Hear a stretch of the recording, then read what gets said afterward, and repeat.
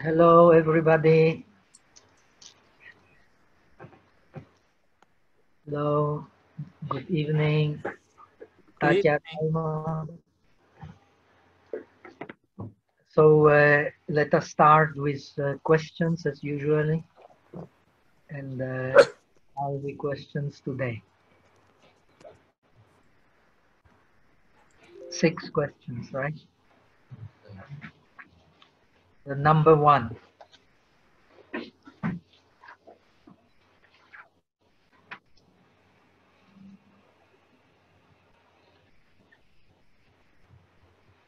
He was not aware of anything, even an object. I wonder how is his mind working that time? This is a follow-up question that he asked you have addressed in last class. When a patient is in a surgery, he is injected chloroform and know nothing during the surgical section. Do he has conscious consciousness at time? Yes, he has. Now you are studying uh, so you should know. He does not have the six consciousness, maybe if uh, he is in a deep coma, but he definitely has the alaya consciousness. Otherwise, he won't be able to get up. Impossible unless he has the alaya consciousness. Alaya consciousness is the consciousness with which we die and with with which we are reborn. Hmm? And if you believe in the Antarabhava Jungyo, now it is the consciousness which exists in the in between, in the Bardo.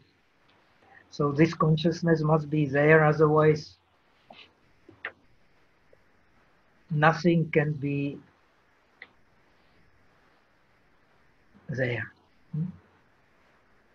Nothing does not necessarily means nothing as a negation. What is actually there, you have to find out. Hmm? So that is the first question.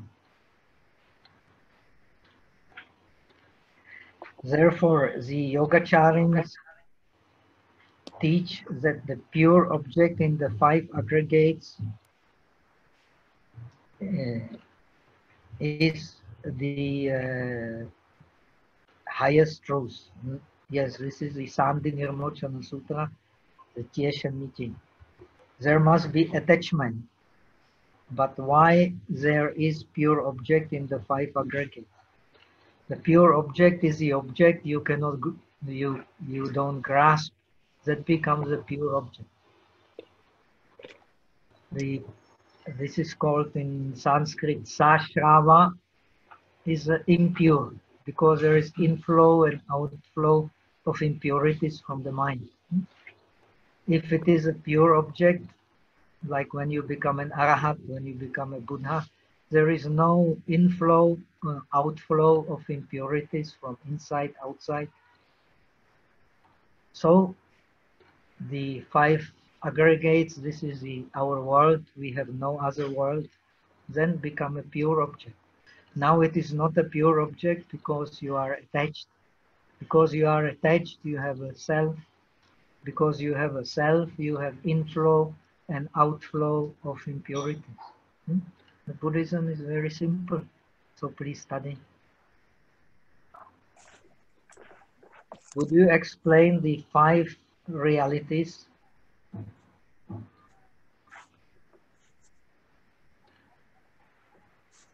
Mental factors form not linked to the mind. It is not called form. It is called the formations. hmm? Don't uh, confuse formations and the form. hmm? Form means uh, rupa. hmm? Sa. Formations means shing. hmm? Yin in old translations. So they are very, very, it's quite a different meaning. So please make sure you don't confuse the two together. This is the most basic Buddhism one should be aware of. Otherwise, this uh, little bit uh, deep teaching like uh, the Vaisha, the mind only doesn't don't make any sense. So first, usually one has to learn these most basic concepts of Buddhism. Then one can apply them to the consciousness. So these uh, five realities or aggregates are our world. We are living in this world and there is no other world. Hmm? Now, in the Northern Buddhism,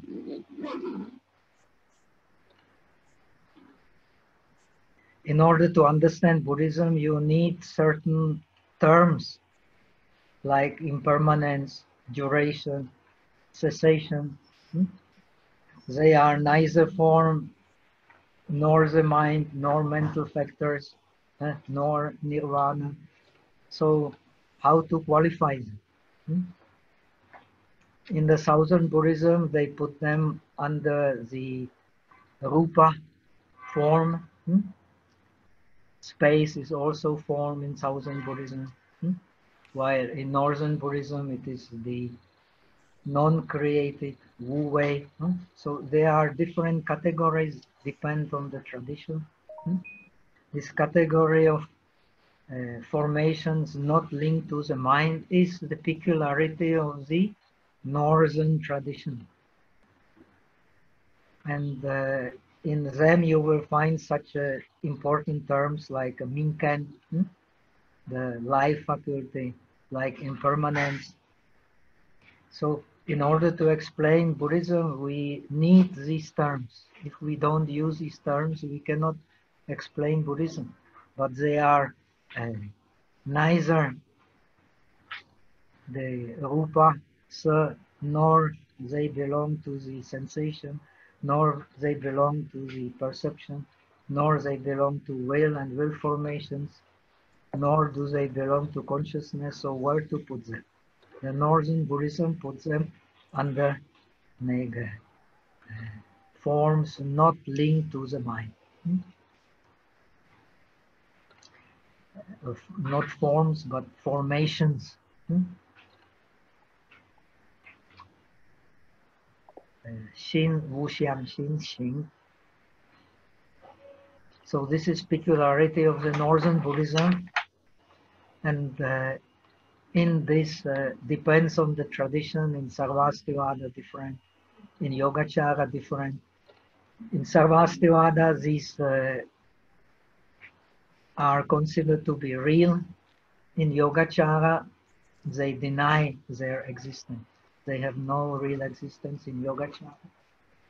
The Sautrantika hmm, has reduced their number, and the Yogacara has even added to them several other dharmas because they are not real anyway.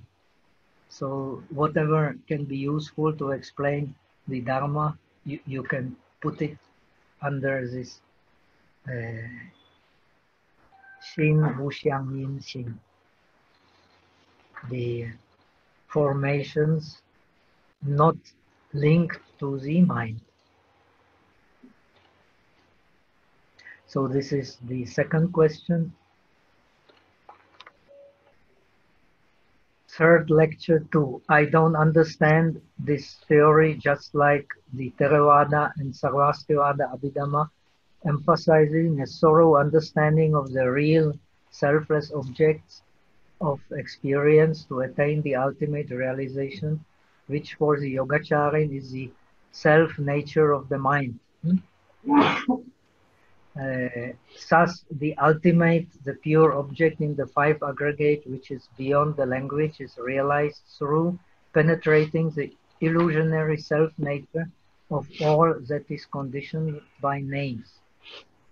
In this course, we shall be concerned with this concept.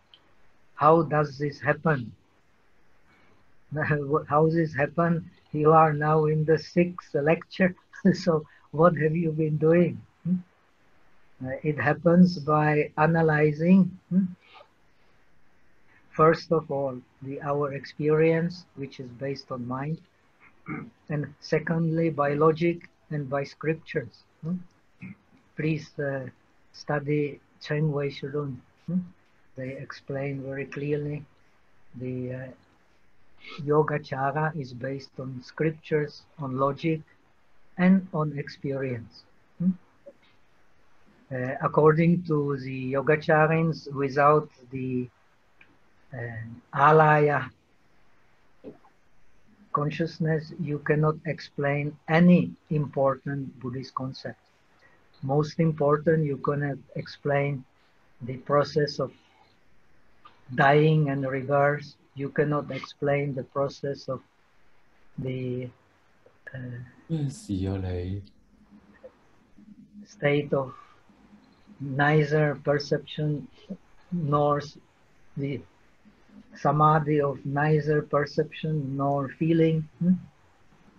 Shoshamyeting. All these things you cannot explain how consciousness 你揾我做乜啫？我俾 comment 啫嘛。 how consciousness gives rise to uh, the nama rupa and how nama rupa mingsa and how mingsa gives rise to consciousness. Hmm? You cannot explain the uh, consciousness being the ahara, being the sh, hmm? being the food on which we are dependent, and so on. hmm? You cannot explain the consciousness being the seed, hmm? and so on. 系啊，你知我好多嘢做就得咯。 I'm not。咁先。So please kindly study a little bit the. Uh, uh, if you don't have time to study Cheng Wei Shilun, uh, which is quite long, please at least study the uh, Tieshan. Hmm? I have already advised you to do so. Hmm? As far as uh, the some asked about the assessment, so if you have no time to read anything, read at least uh, Tieshen meeting, which is the base for understanding the Yogacara approach to the uh, analyzing of Buddhism. Especially the sixth chapter, because we are, Yogacara has many, many aspects. We, we cannot treat all of them. We are only treating the soteriological aspect, the aspect related to the process of liberating the mind. And this is the most important process, uh, most important contribution of Yogacara to Buddhism. Uh, nowadays, the Northern Buddhism, however you, whatever your philosophy may be, you explain the process of meditation based on the Yogacara.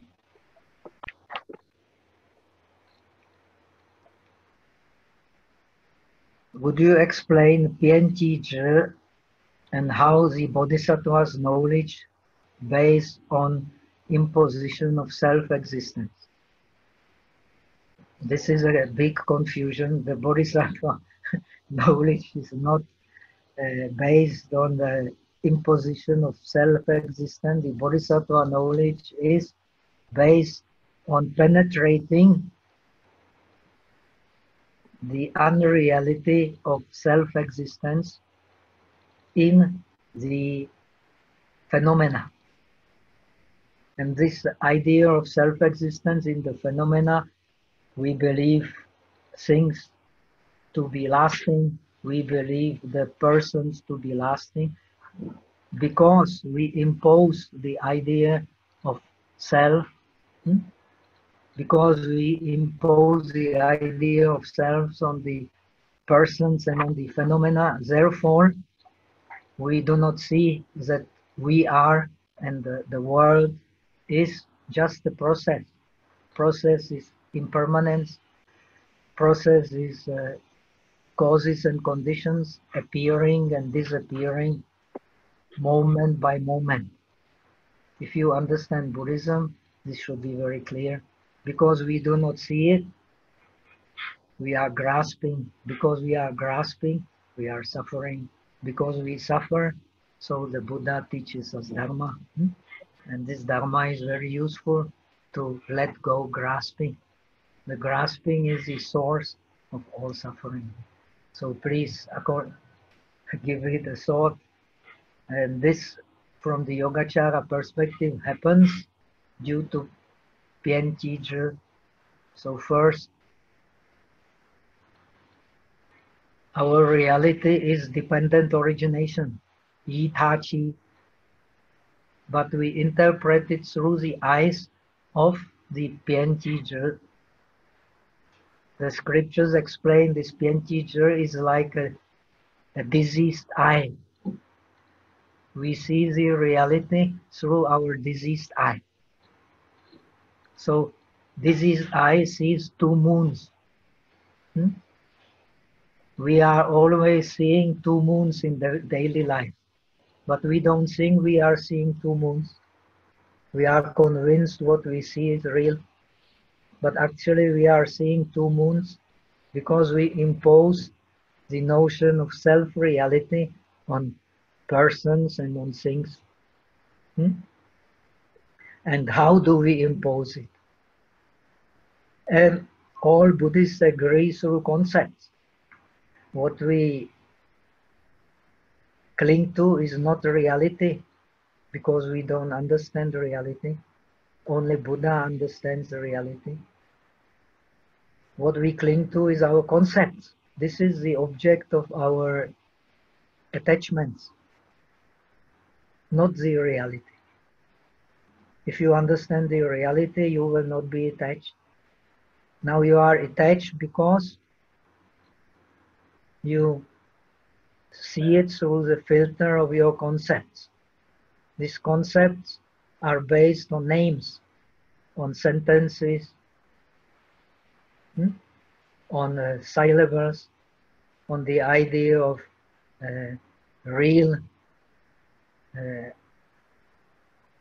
specific and common characteristics of the objects which are lasting. hmm. And uh, due to this, we impose the idea of something existing by itself. It is through these names, syllables.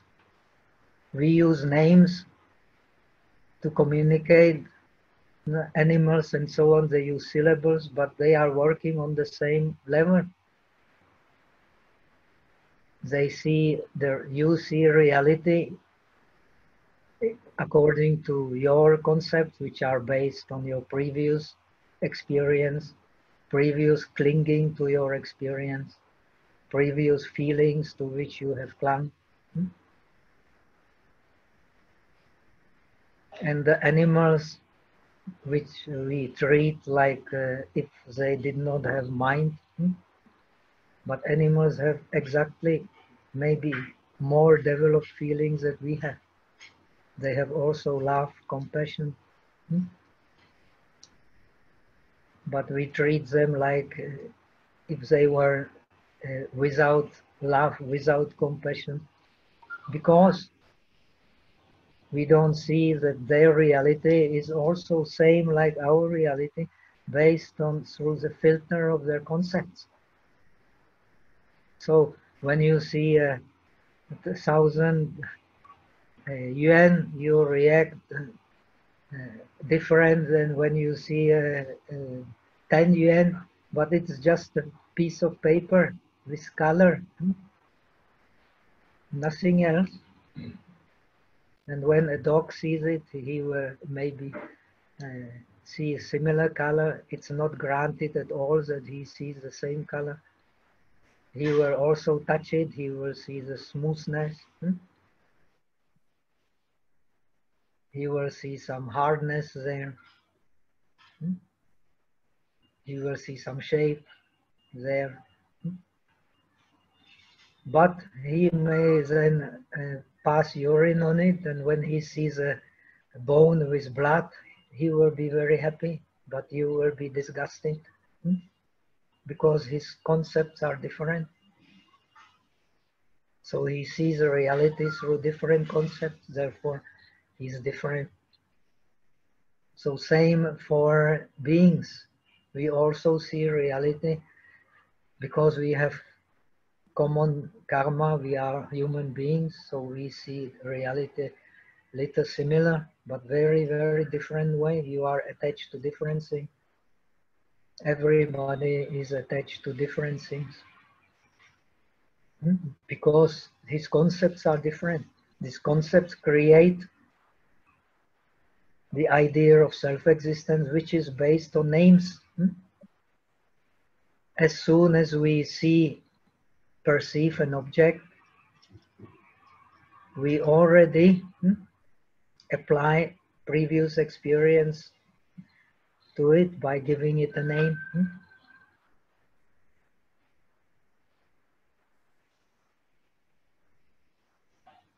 Okay. So what we do is instead of seeing reality, we either add something to reality which is not there, or we want to uh, take away something from reality which is there. So this is due to our imposition of self-existence.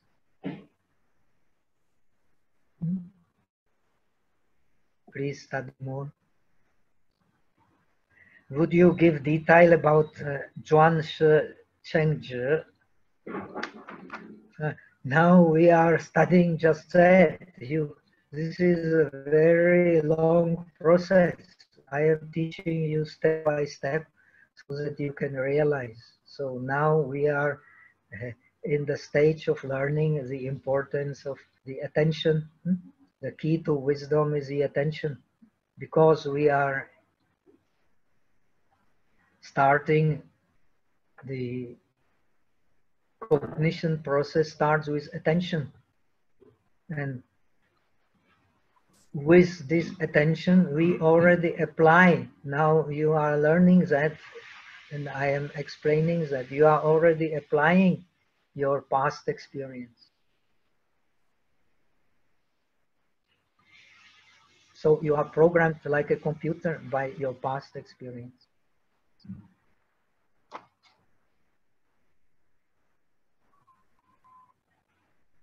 Now, when you penetrate this, then you can change your active consciousness into wisdom so that you won't find in your experience any object worth of clinging. This is what Buddha is saying, nothing else.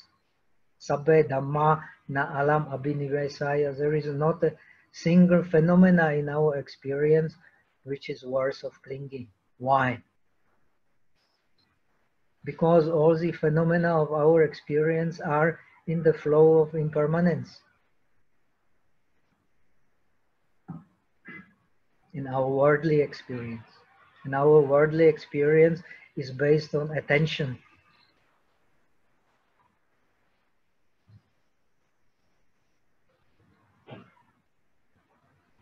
When you attend to the object, you can differentiate it. When you differentiate it, you already differentiate on the base of your past experience.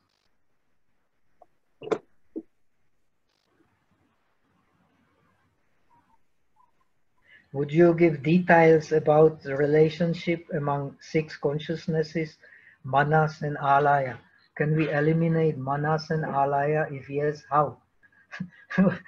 why are you running forward? I am teaching you step by step. You cannot explain in one word. Uh, of course, when you uh, when alaya turns to the wisdom of the uh, universe, the mirror, then all the consciousness become wisdom. Hmm?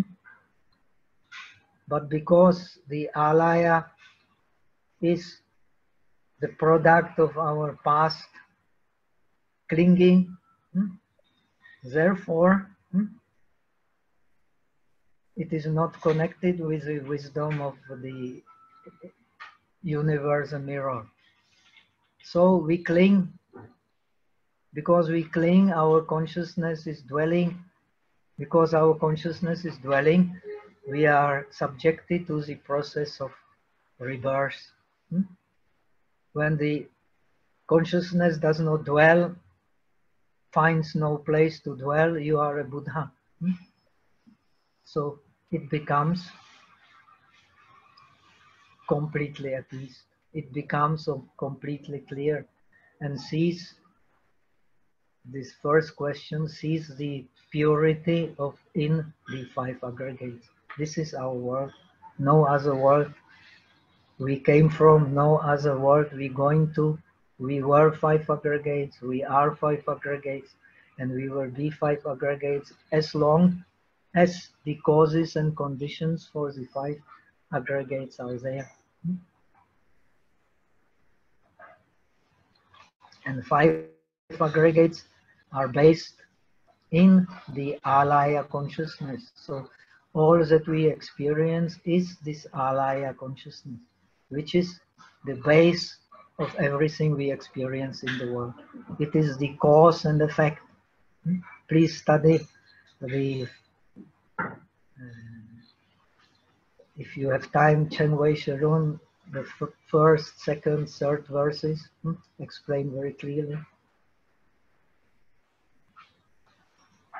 Okay, any more questions?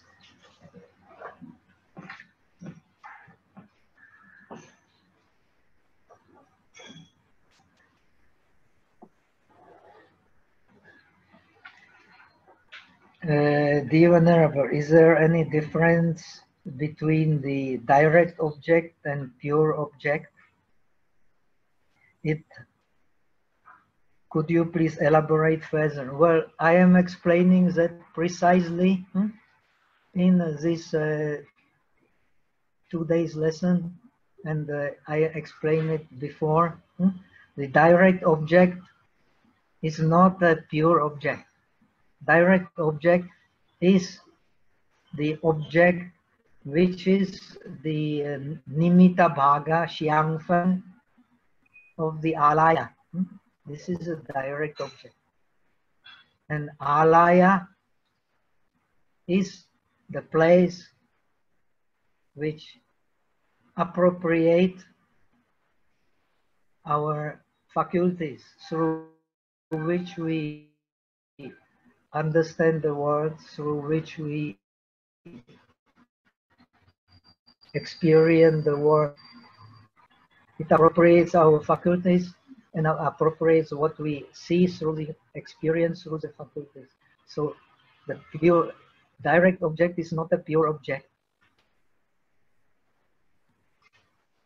But by understanding direct object, you can understand the key, how to get to the pure object. So to understand the direct object is very important. Why? Because the direct object does not go through the filter of the uh, mental consciousness, which is based in the manas. It is its base, which brings the self into our experience. Hmm? And the alaya is conditioned by the manas, and manas is again conditioned by the alaya. Hmm? Very important to understand. So this is how we function in the world as individuals. Now, when you study Dharma, you reverse the object. You break the impure seeds from the alaya and by planting the pure seeds into it, you will realize the selfless nature of your experience. Then you can turn the clinging consciousness into wisdom.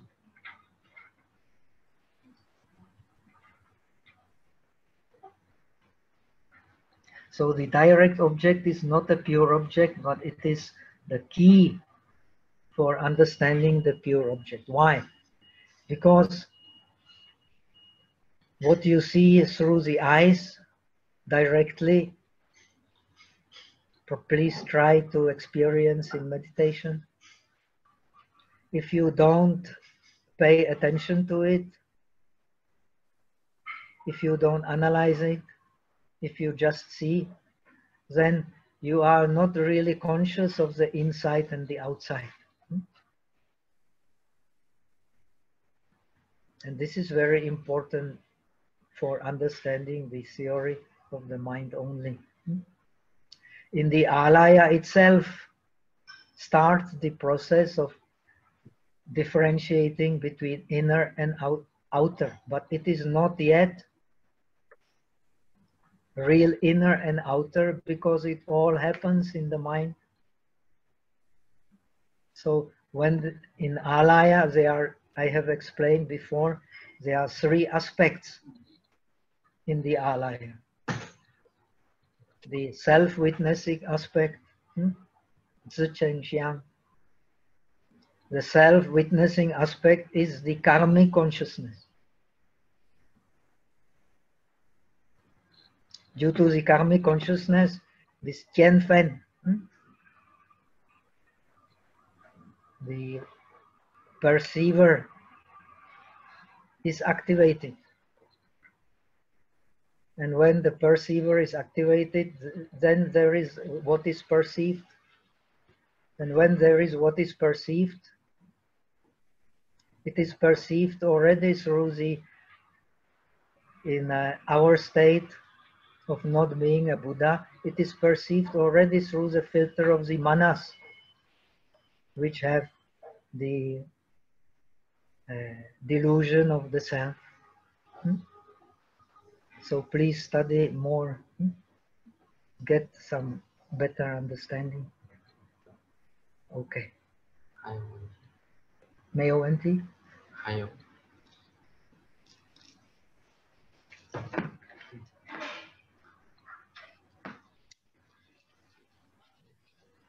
Why? Where? Dear, Venerable, why breath Jenny, okay. Why breath is also is also why breath is concept. hmm? Now, today you are going to study. hmm? The real breath appears and disappears moment by moment. It does not last the breath that you experience as a long breath or short breath is a concept of the breath. Now you have already studied Tungfen, hmm? which is similar to the breath that you have directly experienced through the Shui Er Shi. hmm? To, today we will study. hmm? But it is already a concept because the Shui Er Shi is connected with a past object. Hmm?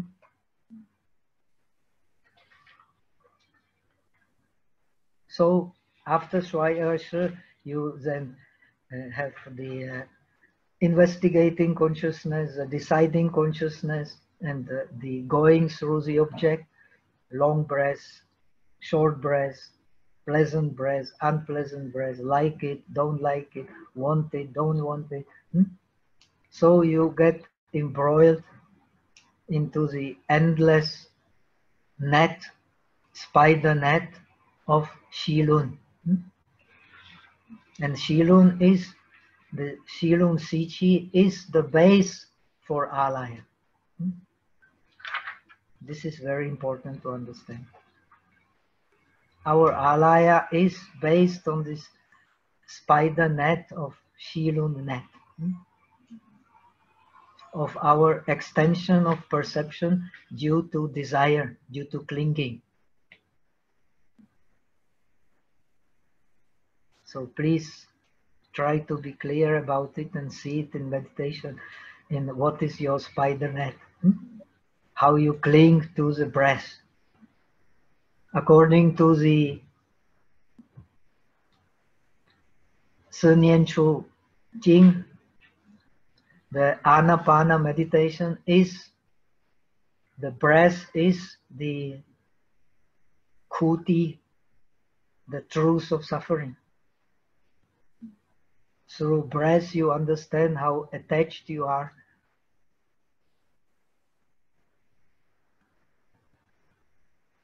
Try to close your nose and your mouth. you will see very clearly that if the breath is kuti or not kuti. Hmm? Our existence is based in attachment. Hmm? And uh, it is very clear on studying the breath. Hmm? Okay, another question? So how to understand the direct object to reach the pure object? Well, we have explained it. You should, uh, well, you are connected with a direct object, then you have no clear distinction of the inside and the outside. And the nature of consciousness is non-dual. The dualism comes from the alaya, the aspect of karmic consciousness, of self, witnessing is already connected with activating consciousness and uh, seeing consciousness as we said, what is seen as something real, something to be grasped. So this uh, is being created in your alaya by your uh, previous seeds based on clinging, based on shilun. Please contemplate it and try to get clear on it so that you can advance in your meditation. Hmm? I am teaching you Yogacara in order to enable you to study the real Dharma. Hmm? And the real Dharma is very simple, but we are unable to digest the simple, so we need a very, very clear concept.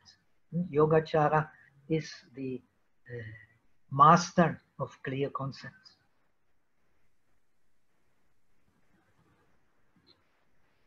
Okay.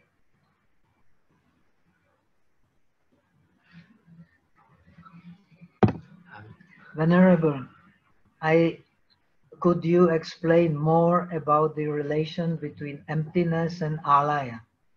You have mentioned middle path of the only mind. Hmm? The middle path means the uh, only way to realize the peace of mind. Hmm? This is a middle path. It is a path deprived of the all extremes, including the extreme of real existence and the real non-existence, hmm? extreme of lasting cause and lasting effect, extreme of uh, uh, either attaining something by uh, indulgence or by extreme uh, austerities. All extremes in our life are due to not understanding the middle path. In order to understand the middle path, you have to have uh, shamatha and vipassana, jirkwan. If you have jirkwan, then you can see the middle path because the middle path is something can only happen on an object you cannot grasp. And that object in Buddhism is called emptiness, signlessness, and desirelessness. Hmm? Kung, Wu Xiang, Wu Yuan. That is the real object of the middle path. On that object, there cannot be extremes. So the mind can find the complete appeasement. Now it does not mean that that object clash with what we experience in daily life. Hmm? That object is the five aggregates. When you have penetrated in terms of the Kung, Wu Xiang, Wu Yuan, now you are a Buddha. Hmm? If you are a bodhisattva, you have penetrated, but you don't enter nirvana because you have the yuan, zhongshen wupian shuyan tu, fana wujin shuyan tu, famanura, and, and so on. If you have not penetrated, you are neither bodhisattva nor any Buddha, you are nothing. Hmm? So you are just uh, completely merged in your little world. Hmm? So we study Buddhism to find that there is something beyond our little world, hmm? which is beyond our little differentiation, but which compasses all the differentiations. And we live because of differentiations. Arahat still has to eat, Buddha still has to eat. Hmm? Arahat still has to rest. They still live in the five aggregates, but they have penetrated their nature of not grasping. This grasping comes from mind, from the mind which clings. The mind which clings is the cause of existence.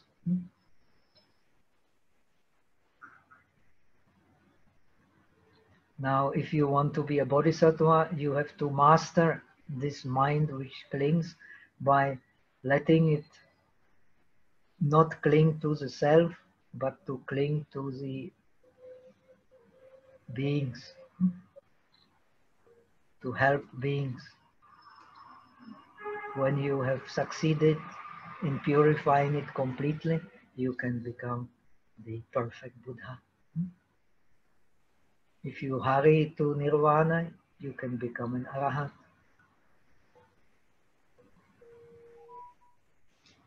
Okay, any more questions?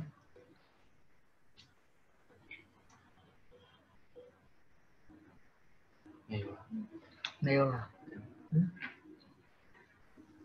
So uh, I see that some of you have not much base in Buddhism.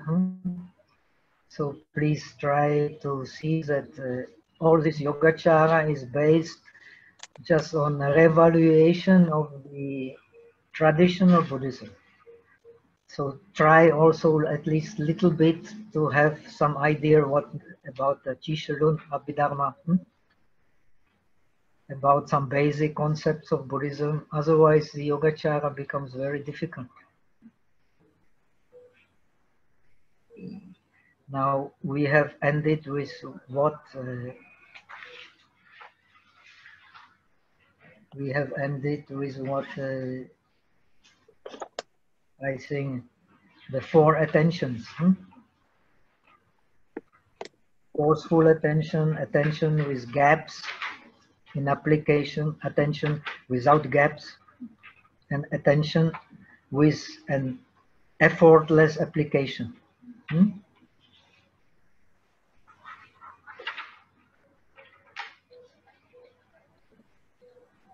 So this attention with an effortless application is attention that you use when you are in samadhi and have mastered samadhi, but it is also the attention that you use when you have mastered wisdom. Hmm? You don't need any effort to in your attention because you are not holding to the object. So you naturally, hmm, your mind naturally flows on the object effortlessly. This is what you want to achieve by this training. Now you want to, you apply forceful attention because you want to grasp the object. You want to grasp the object because you are not familiar with it. Hmm? So due to familiarity with the object, which comes from developing mindfulness,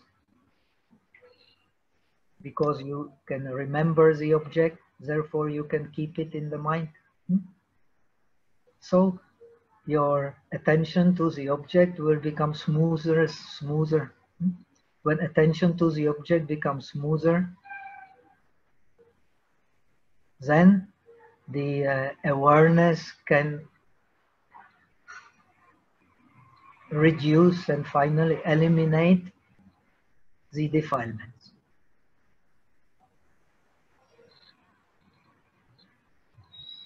So this is the process of shamatha. But as long as you have not realized the ultimate object, the object of the middle path, then this uh, elimination of the defilements will be only temporary as long as you are in the state of attention with effortless application. In that attention, no more defilements. Hmm? Because that attention applies mind to the object equally. All the virtues of the mind, they become balanced. So no place for defilements. Hmm? The one-pointedness is balanced by wisdom, by faith, which is resolution, by effort, and by a perfect continuity in the mindfulness. Hmm? So, no place for defilements as long as you are in this conditioning. When you leave this conditioning, bye bye, pure mind. Hmm? Still, you will have attachments which will be manifested by forceful attention, hmm? not a balanced attention. So you will have to use your meditation experience to practice mindfulness in daily life. When there is mindfulness, the mind becomes smoother. When there is no mindfulness, it is like a wild horse. Hmm? And when the habit of mindfulness is there, the habit of awareness, which removes defilements as soon as they arise, will become your nature. Then being in samadhi is like being, being at home. In this conditioning, when you study vipassana, you can attain a very, very fast realization. So when the Buddha was alive, the study of shamatha was the part of the education. Hmm? They had to remember the Vedas, the scriptures. So they practice concentration. It was part of the education. So because they had this base when the Buddha taught them, during the Buddha's discourse, they became enlightened. How is it possible? Because their mind and the meaning of that, what the Buddha was saying, became one.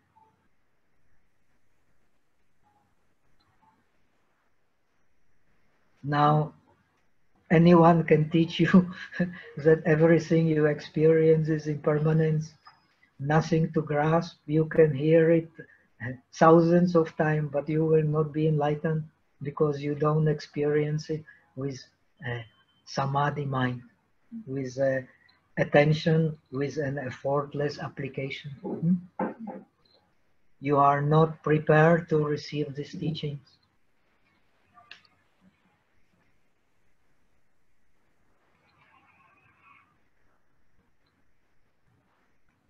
So that's why you practice attention with an effortless application for the worldly objects like the breath, which is based on the practice of attaining samadhi. When you have attained samadhi, mastered samadhi, then you can anytime, without any effort, again enter into samadhi because it becomes part of you. The samadhi dhyana is a very powerful karma. Just like on a site of negative karma, when you kill your mother or father or any person, you can never forget it in this life and in next life also. But same, if you have attained the samadhi, it has made a very deep trace in your mind. You will not forget it in this life. And in the next life, if you continue practice, it will come to you naturally. I myself experienced such cases while in my little experience of teaching samadhi, teaching jhana in Burma.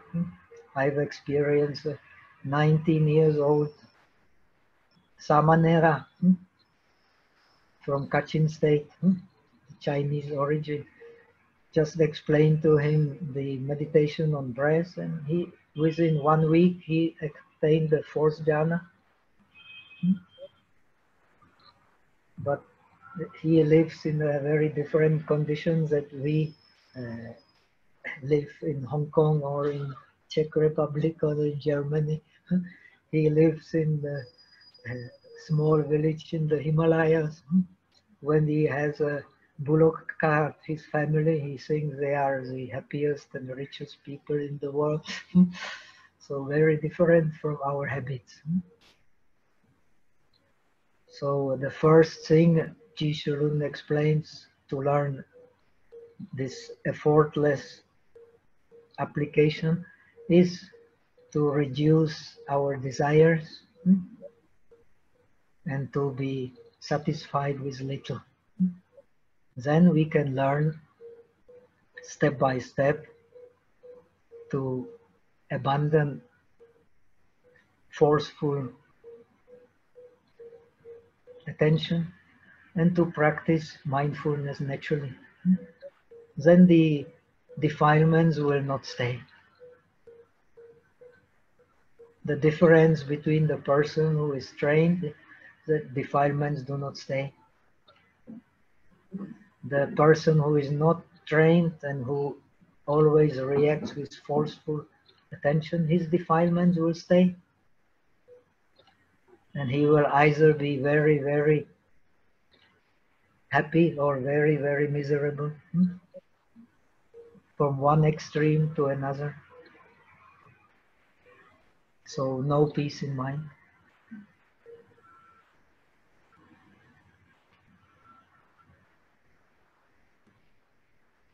And then there is attention with an effortless application based on wisdom. And this is the supramundane path. Based on the middle way. Hmm? For the disciples, it is by contemplating the Four Noble Truths. We will talk about it. Hmm?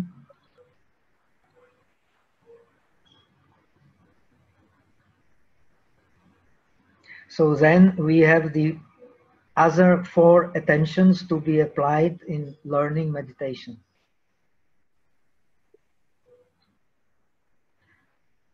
So attention to enter into meditation, unable to remove defilements. Hmm? Now, in order to understand it clearly, we have to study the seven kinds of attention to be mastered to accomplish the mundane and supramundane. But we have already studied the nine Shinju, hmm? the nine chitta sthiti, the nine abodes of mind in shamatha. So the uh,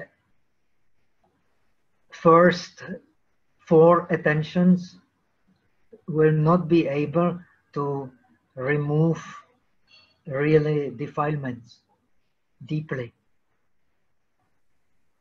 To some extent, yes, in the force attention, because the mindfulness has ripened,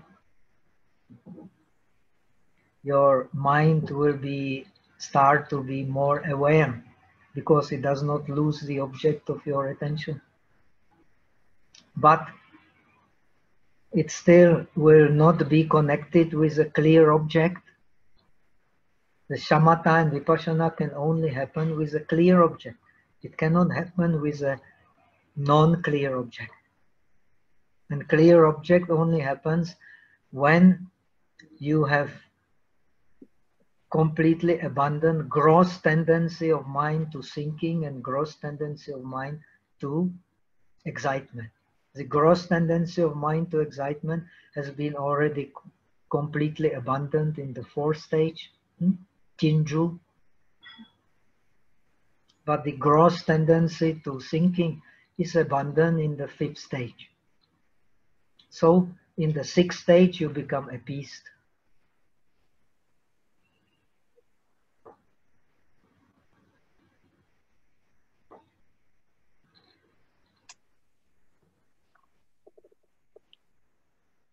So you can say the uh,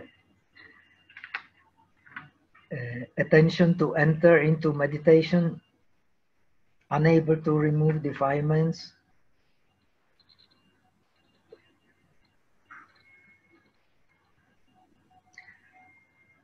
uh, it, it is the attention which sees the thoughts of the defilements, but yet is not unable to uh, to remove them because the awareness which removes the defilements has not yet ripened. It can only ripen when the mindfulness is ripened. When the mindfulness is ripened, because mindful function of mindfulness is concentrated attention, and you have not yet habit of concentration, so the mind will still have tendency to thinking because it has tendency to thinking, the meditation object will not be clear. Hmm? Not clear enough that the awareness can be very, very conscious of this tendency of the mind to excitement and thinking. Only when they are reduced to minimum, then awareness can eventually learn to practice the step-by-step effortless attention.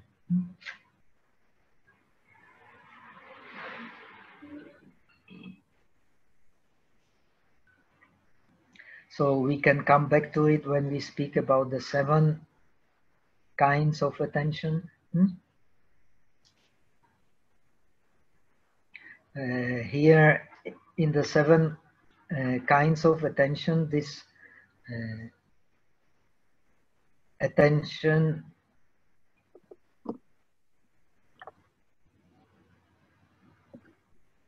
uh, this anulomika sui shun attention is uh, the uh, liao xiang liao xiang zui hmm?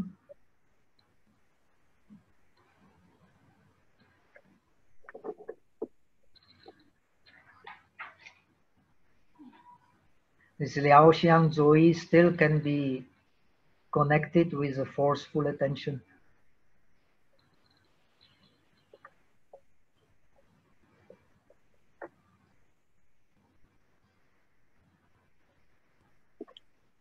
But when the mindfulness starts become clear, then you can take a resolution to stay with the object.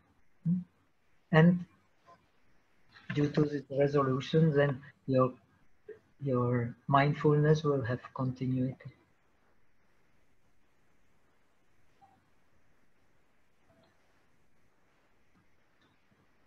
attention capable to reduce and remove defilements. Hmm? So this attention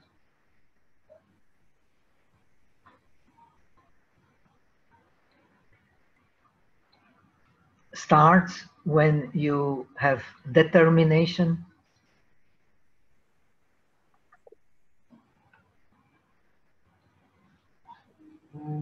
and due to this determination, your mindfulness has ripened.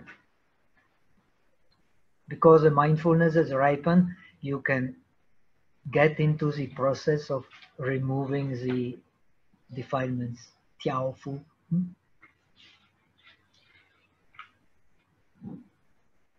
But this process of removing defilements also has stages, and they are best explained by the seven kinds of attention.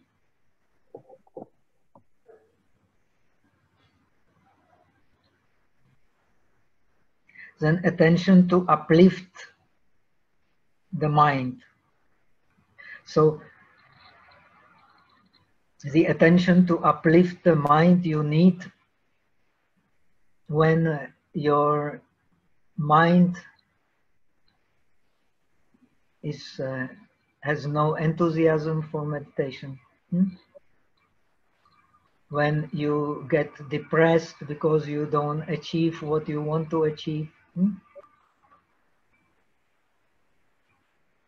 If you don't have this kind of attention that gladdens the mind, then you will give rise to uh, uh, despair. Hmm?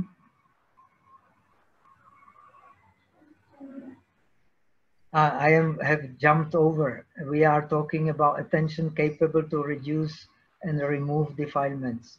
So the next one is attention to uplift the mind. Hmm? I have jumped over to the uh, that gives uh, attention that gladdens the mind. Hmm? Actually, they are connected. That's why it's easy to jump for one to the other. Hmm? So the attention that uplift the mind is Shun Chinking Joy is the attention which brings the mind to a pure object. Especially when you are practicing on the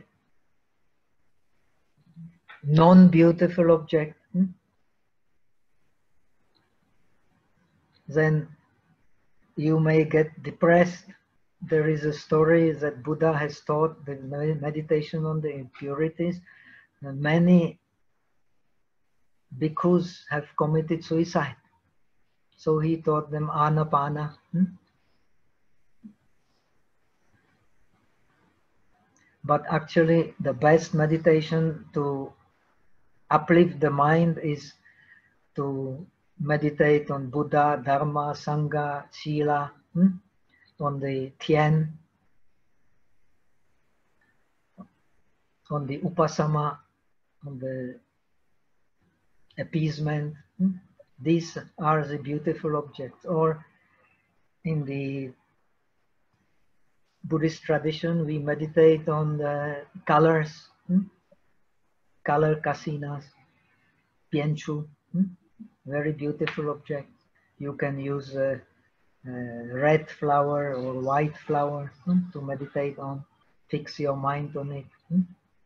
and your mind will become uh, immediately uplifted by a beautiful object. This is a skillful means. Hmm? So remember the Buddha has never taught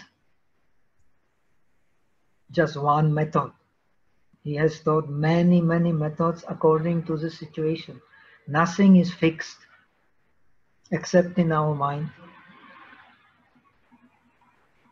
So Buddha always taught according to the circumstances and according to the persons who listens. He never taught only this is true, nothing else is true. This is just attachment.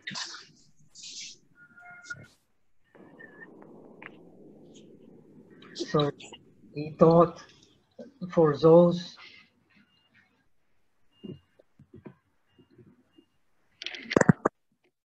who were dominated by attachment, he taught the non-beautiful object. For those who were depressed, he taught the beautiful object. Important is they get a concentration. When they get a concentration, their mind goes inside the body.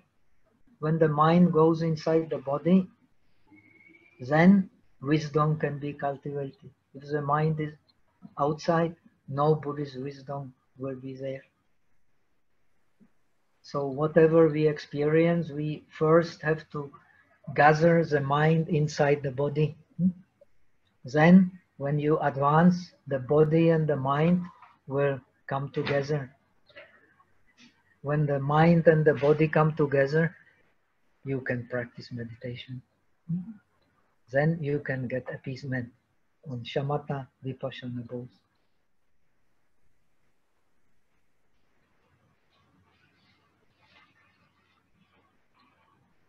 Attention to investigate the defilements that still remain in mind.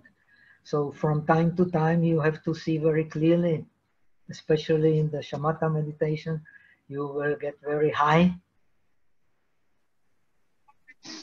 but you will not have realized that the defilements are still there because we don't have experience of the really balanced mind, which only happens in a state of mind. Hmm.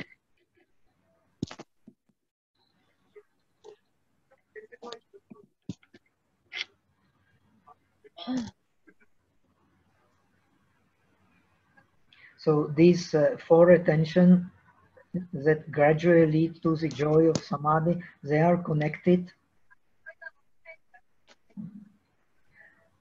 Uh, they are connected with what has been taught previously. These three first ones are the suishun joy, attention to enter into meditation, yet unable to remove defilements. So they explain better this sui shun zui. So you will have to use them a lot during your progress in meditation so that you can get deep into the joy of meditation. The cultivation of attention that shakes, shatters the mind in Chinese, they translated as Tiao Lian Xin, hmm, Santapana. It is based on Samvega. This is a very important word in yoga. You have to shake yourself so that you put effort. If you don't shake yourself, you will never get any enlightenment, not to speak about the genuine realization, which means the end of defilements. So uh,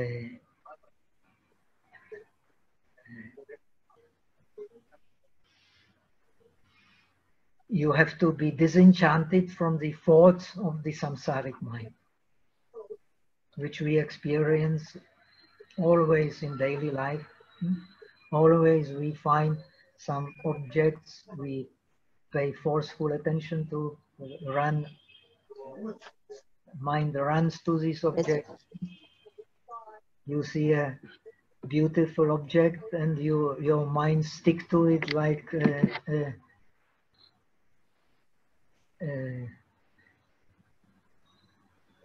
there is a song in Chinese, Lao Shu Ai Ta Mi. Have you heard this song?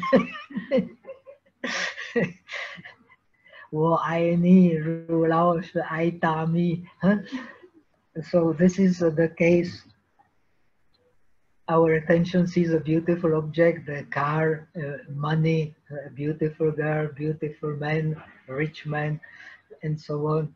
Then your attention cling to it like uh, Lao Shu Ai Tami.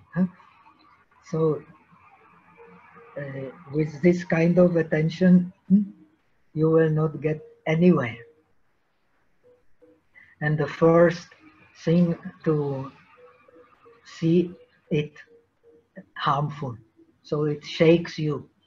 I am still subjected so much to suffering because I have this kind of uncontrolled attention.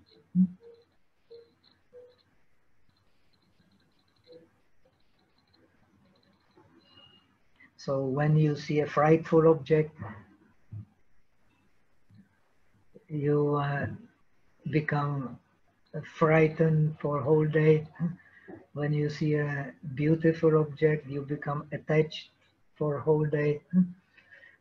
And not only whole day, it can last for a long, long, long time, always thinking about it, always want to possess it, only thinking how to possess it or how to get rid of it. Hmm?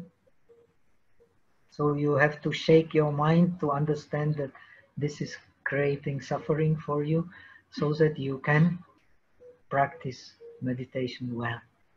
So this is called Tiao Lian Zui. Hmm? It does not remove the defilements, but it shakes you so that you can tolerate the discomforts of meditation. Hmm? Chi Kai Tong, Jian Pan Tong, hmm? uh, Tuo Tuo Zanian.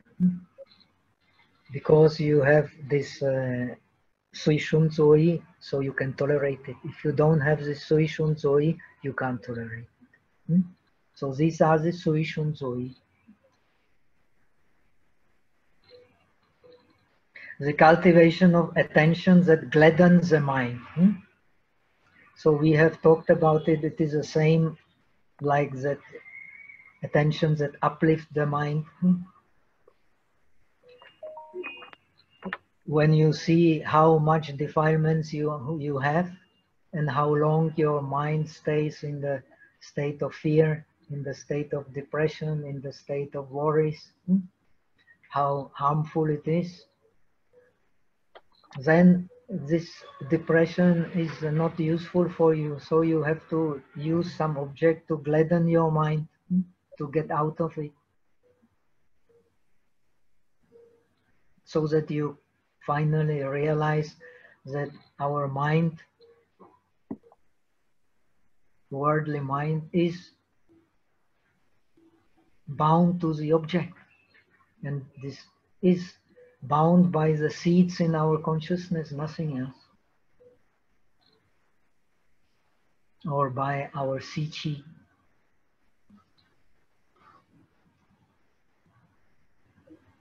So you have to keep in check your sichi, your uh, your seeds of uh, depression or fear by bringing the gladdening object to the mind. The cultivation of attention that gives rise to pliancy.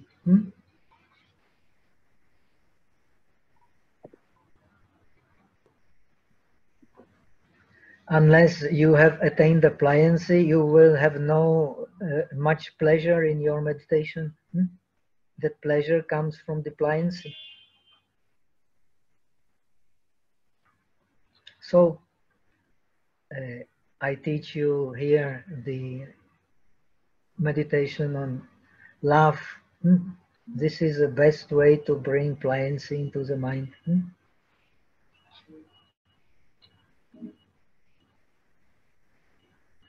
It uh, relaxes or you bring the white color to the mind. Hmm? Love is connected with the white color. Hmm?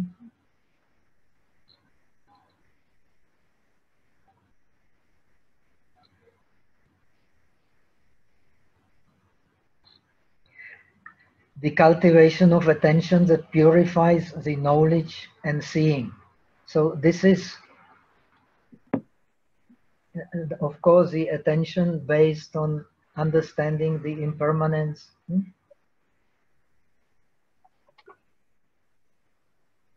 All these objects, they are also impermanent objects. Nothing in our worldly experience is permanent.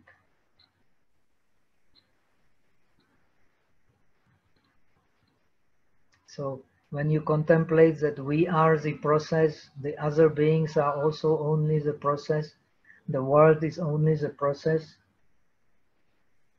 that will, will be the cultivation of attention that purifies the process of knowledge and seeing. Hmm? In the process, there cannot be a self. If there is a self, then there is not a process.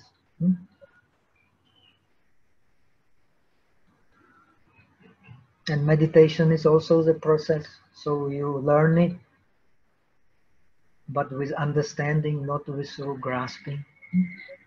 Many people learn meditation through grasping. Because of that, they get depressed when it is not what they imagine it to be.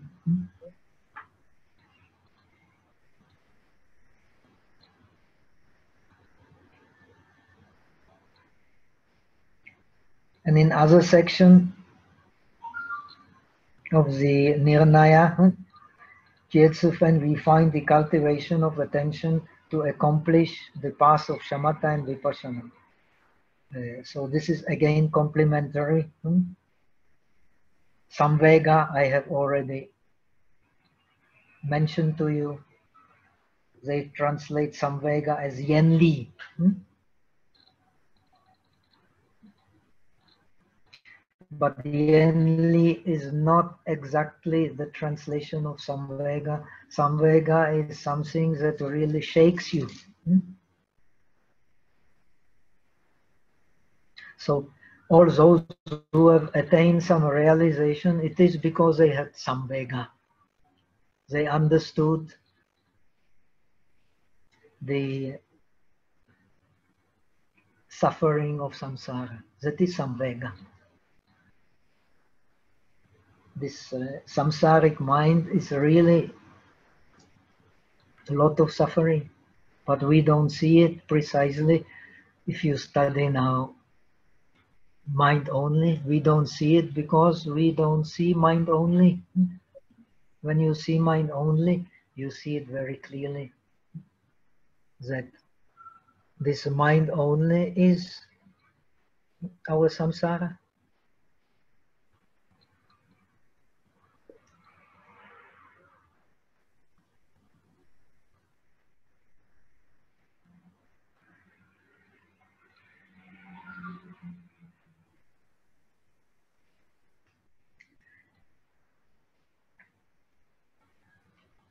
Prasada, gladdening the mind. Hmm? Uh, when you come to India, hmm, they give you prasad always, hmm, some piece of cookies or some sweet. Hmm? So it is to uh, gladden your mind through seeing the reality, which is for the Hindus, the heaven, the God. Hmm? So similarly, you have to gladden your mind by putting the object which can give you the fulfillment.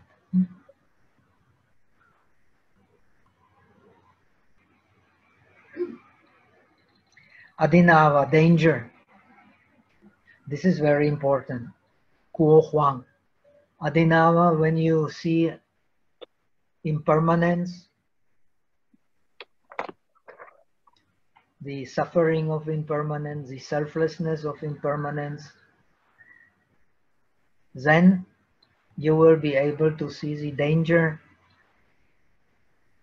Otherwise, you don't see the danger. When you see the danger, you will be able to apply your mind to meditation. If you don't see the danger, you won't apply your mind to meditation.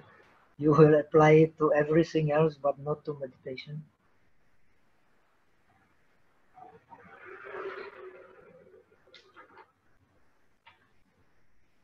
Then, in order to meditate, you have to have a clear object. So there has to be a light in your mind.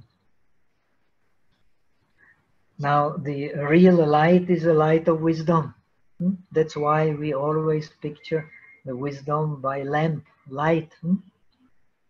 Most of the universities in Chiang also no, symbolized by light. Hmm? the university transfers is supposed to transfer the light of wisdom. I don't know if it does nowadays, but in the olden days it was like that. Hmm? Uh, but if you meditate and your mind has no light and you feel sleepy, you feel bored, then you pay attention to the light of sun, light of moon, light of lamp hmm, to bring some light, at least from outside, temporarily, so that you uh, suppress your tendency to slumber, hmm, to non-sensitivity. Because the non-clear object is the non-sensitivity of mind. Hmm. The sensitive mind has, has light, but people are afraid of light. This is a problem. So they become oversensitive instead of using the light for wisdom and concentration. They use it for panic.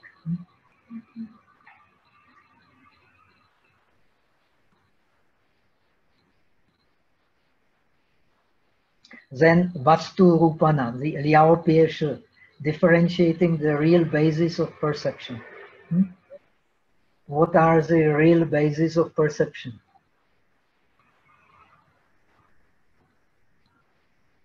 There is no self hmm? because we bring the self into the perception, we are deluded. So what we experience is just the touch of the organs and the object. Hmm?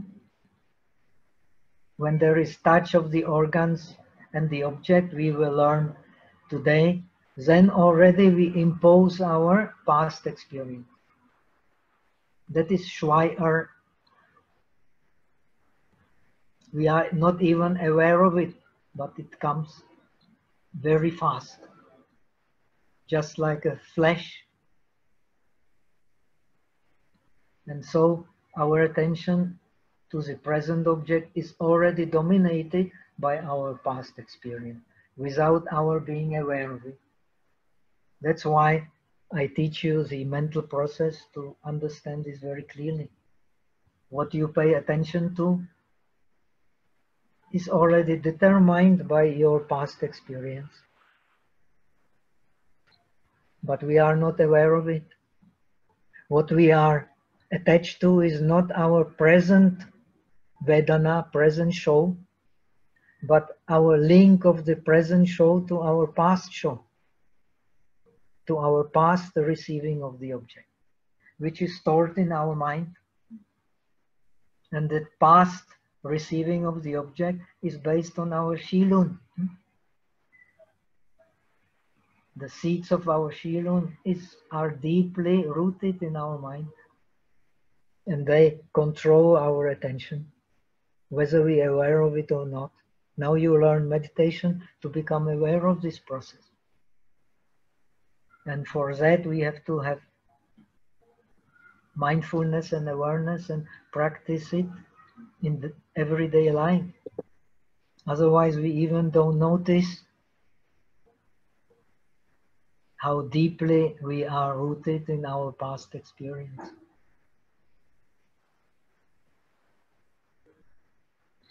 unless you see it very clearly, you just act automatically. And acting automatically is precisely what the Yogacara tries to break. By bringing your attention to the mind, which is the base of all the objects. Hmm?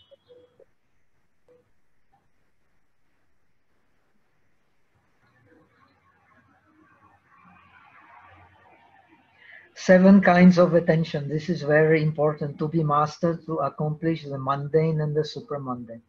These seven kinds of attention, they explain the whole process of shamatha and vipassana. And the whole process also of meeting shamatha and vipassana.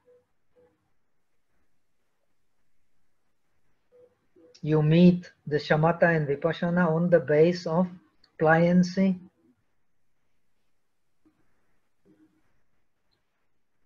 and samadhi, which will enable you to dwell in mind. First, you dwell in mind on the base of a differentiated object, but when you dwell in mind and have the habit of dwelling in the mind, then it is very easy to turn the differentiated object into the non-differentiated object.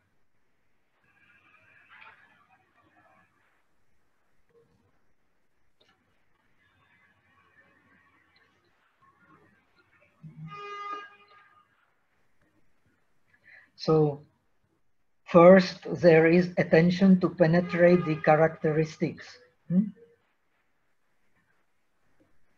So uh, you need this attention, but it cannot remove the defilements. No way. So we have already explained this Liao Xiang Zuo in shamatha is to understand that the gross perception, gross feeling, gross mind, they come together, is suffering. The more subtle mind is more happiness. So, so through penetrating grossness, and the getting yen li from gro grossness, disgust from grossness, you go to the more and more subtle states of mind, which are more and more subtle states of sensation and perception. Because the sensation and perception are the chitta sankhara, shin shin. They determine how you experience the object. Hmm?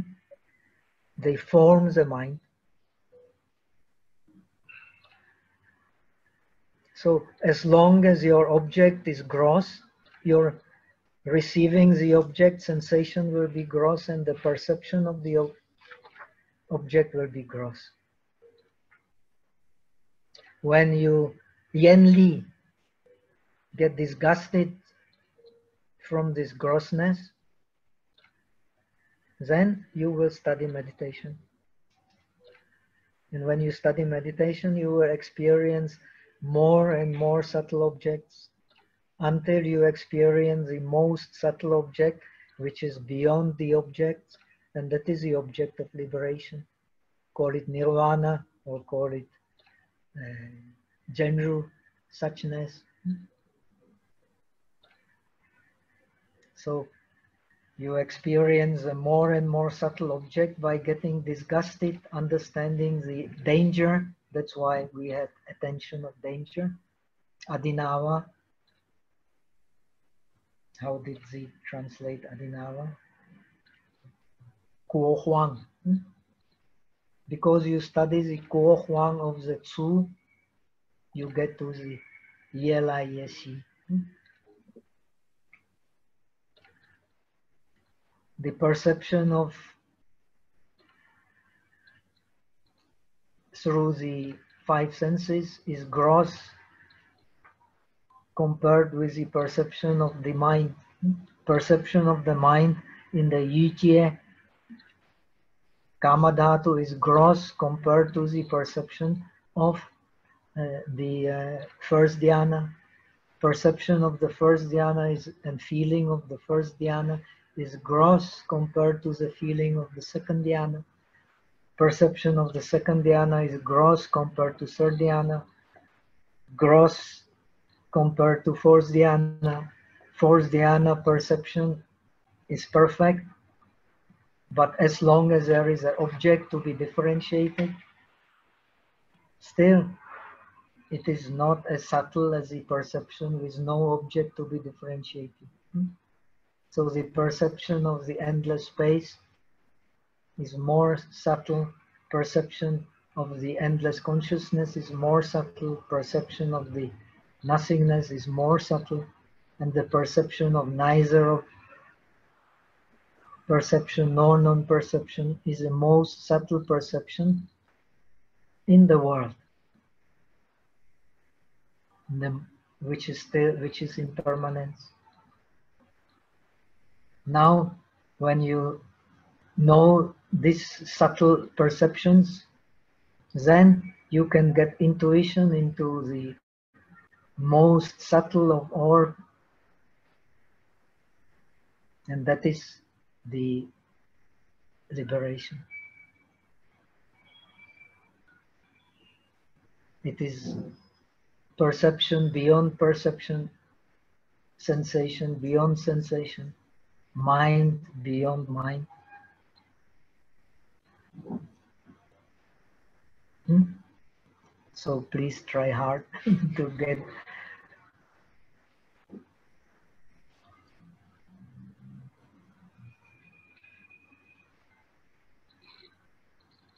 now already eight o'clock so let us do a little break.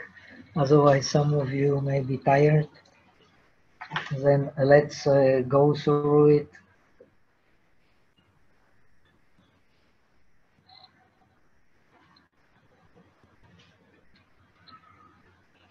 I hope you will get some clarity on your meditation. Then you will understand better the mind process. Then we can go to Vipassana. And then we can see how peculiarities of the Vipassana based on Yogacara and how it differs from the other Vipassana. We won't have time to discuss all systems of Abhidharma but at least Theravada, which believes in the reality of the object. Hmm?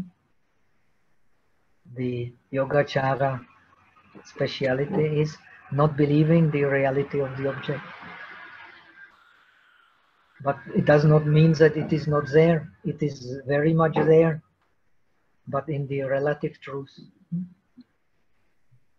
Relative truth belongs to the dualistic consciousness.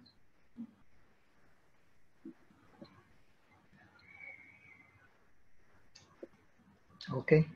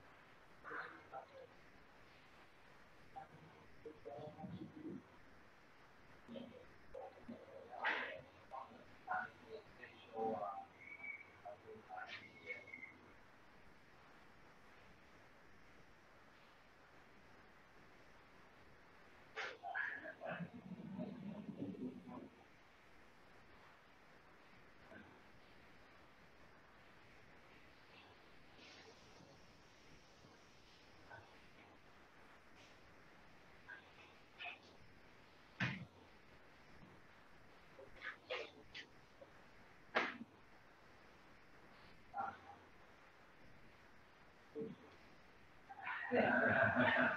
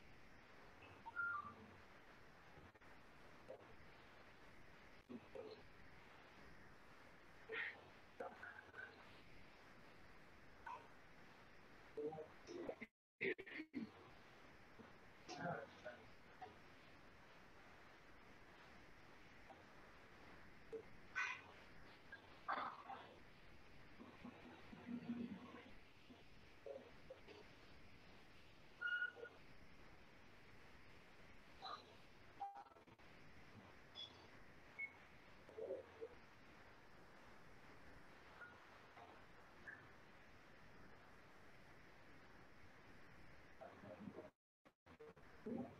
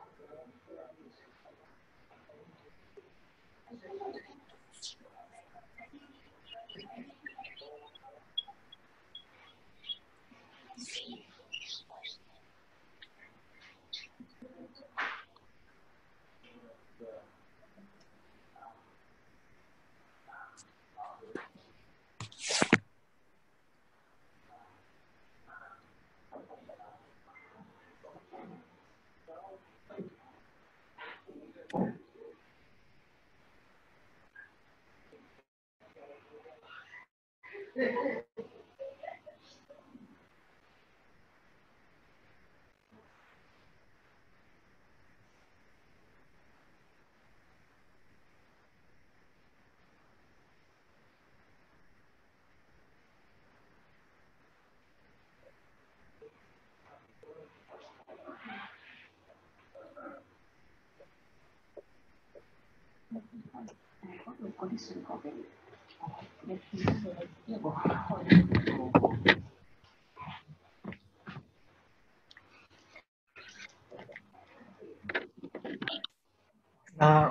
我们继续。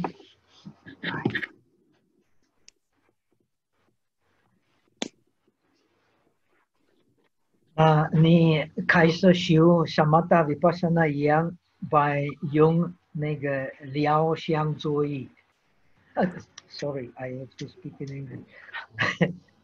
so you start by using this attention to penetrate the characteristic.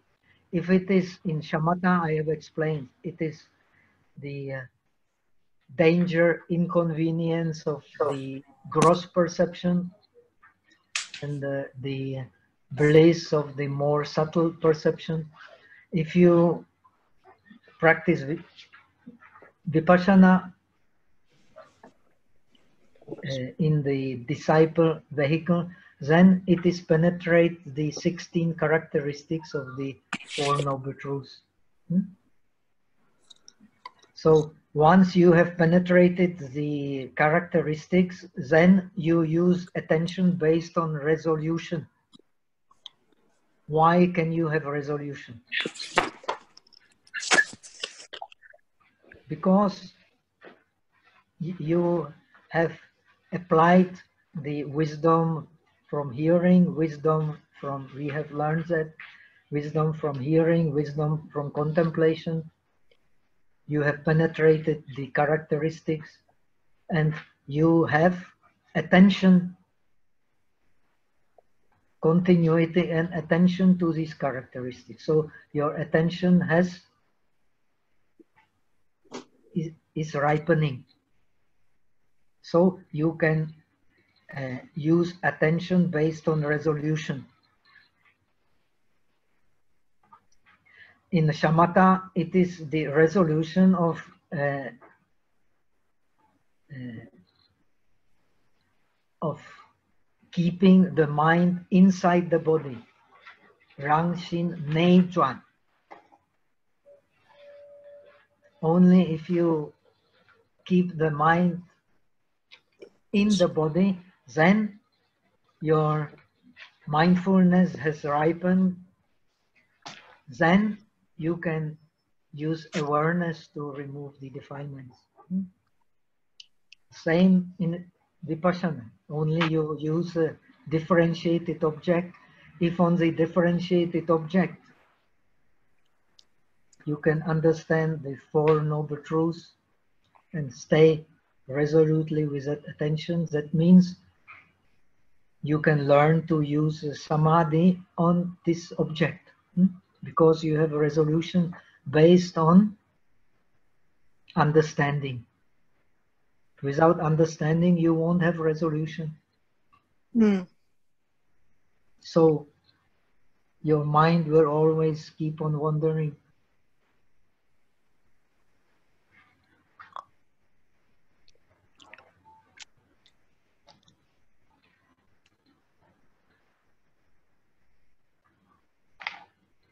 Uh, so uh, next one,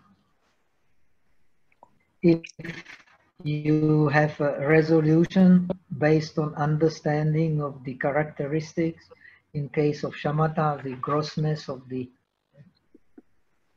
gross perception and the subtleness of the more subtle perception. In uh, vipassana, the suffering of impermanence,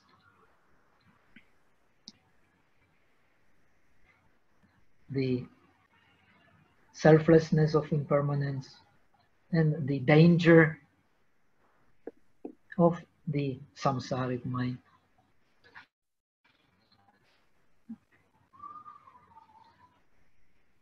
So if you work like this, then you can, uh, your attention, you can use attention to isolate the mind from defilements.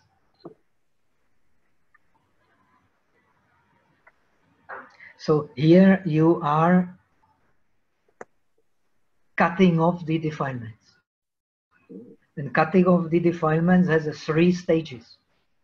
The cutting off of gross defilements, cutting off of middle defilements, hmm, and cutting off of subtle defilements.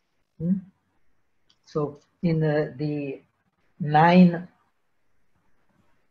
Shinju, the cutting of gross defilements, Tiao Fu Zoi, hmm,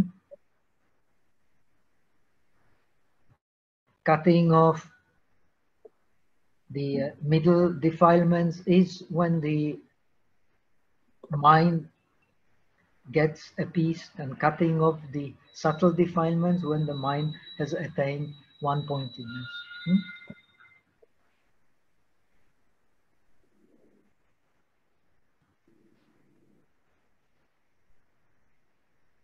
And here you have the cutting of the gross defilements is with the attention to isolate the mind from defilements. Pravivekya, yuan li zuo It cuts, it corresponds to the Tiao Fu Zuo in the nine stages.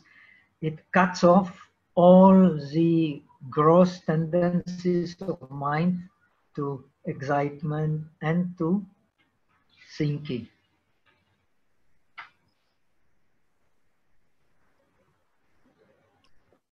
So the next attention is investigation, investigating the mind.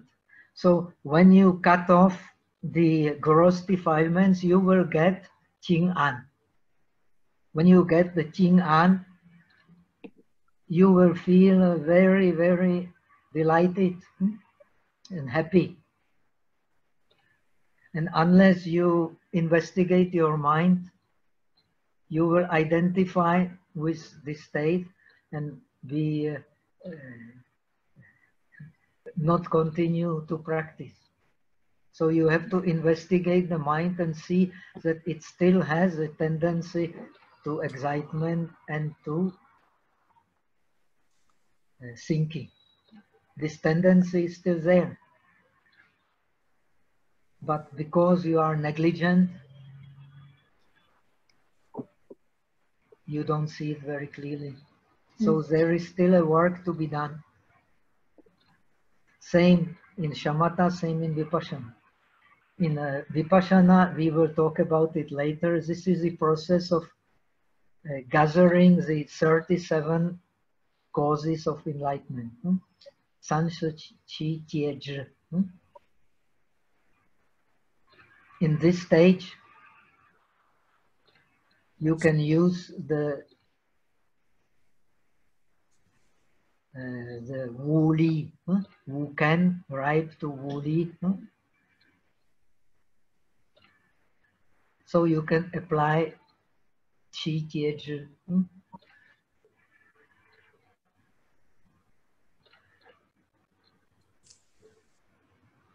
So when you investigate the mind, you will find out there are still defilements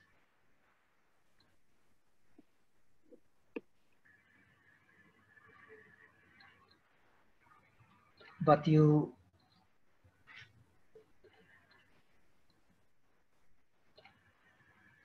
apply the Ratna Samgra, which is Shelu, Shele.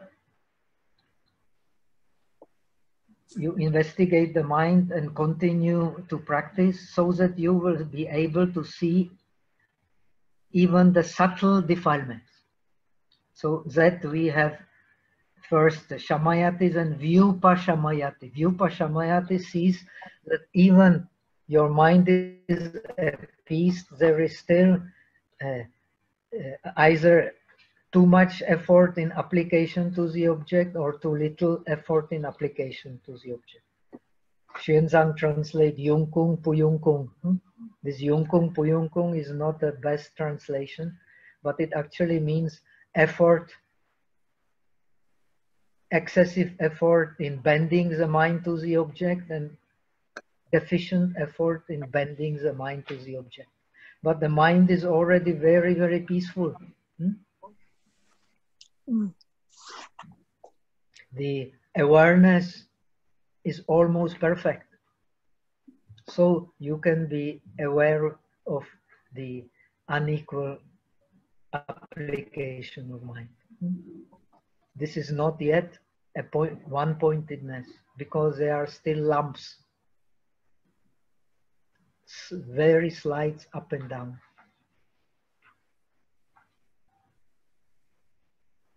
But because you have a perfect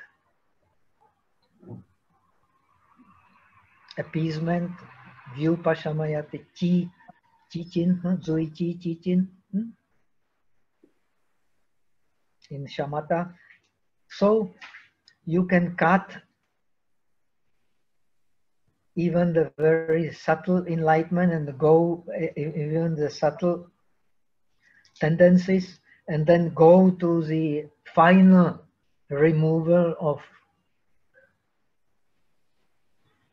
the subtle defilements. So the first stage is Yuanli. Second stage is Shele. Yuanli removes the gross defilements. Shele removes the middle defilements. Still, there is a inequality in effort.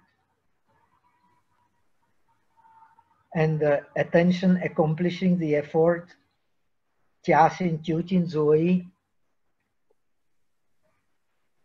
is Wu, Wu Tao. In Buddhism, we speak of Wu Jian Tao, Anantara, Marga, which cuts the defilements, and then Jie Tao, which experiences the cutting of the defilements. So this is the case of uh, Jia, Jiaxin Jiujin Zui, which is Wu Jian Tao, and uh, Which is Jie Tao. Same in shamatha, same in vipassana. But in shamatha, it is the samadhi. In the vipassana, it is uh, the samadhi is already there, but it refers to the supermundane samadhi. Hmm? Which can tuan or tuan fanao. We have already explained the cutting of the defilements has three stages. Hmm? Mm-hmm. Gross, middle, subtle. Middle, subtle, yes. The gross defilements are cut by Pij Ertuan. Huh? We have already explained the Chinting Taolung. That is, you put the opposite into the mind. Hmm? You have uh, greed. So you put uh, the uh, non-beautiful object and the greed will go away. You have anger, you put metta, ci, xin guan, the anger will go away. Hmm? You have too many distracted thoughts. You pay attention to the breath and they will go away. But it is not yet samadhi, but the gross defilements will go away. Hmm? That is Pijra Ertuan. Then you get a samadhi that is Genfu Ertuan. You suppress the uh, the defilements dur during the duration of the samadhi.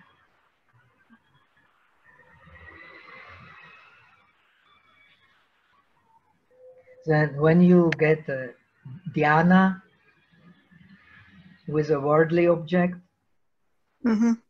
then no more defilements. But no more defilements as long as you are in the dhyana. When you go out of dhyana, defilements will come. But when Mm. you get the dhyana on the supermundane object, kun, wuxiang, Mm-hmm. hmm, then you can tuan or tuan defilements. hmm? Then you will burn the seeds of the defilements in the mind. hmm? If you are a disciple, it happens in the ti ko, ti er ko, ti sam ko, ti se ko, That's bye bye samsara. hmm? Samsara. 有余涅槃。嗯那有余涅槃。嗯 You can, what is to be done as a disciple you have done, then you can rest hmm, and wait for the time to come. And you know there are no causes to bring you to the new birth. hmm. So you can stay in the permanence in uh, this Yogacara, this not in Theravada, not in other traditions, this permanence is explained as the nature of the mind. Hmm? This is very important to understand.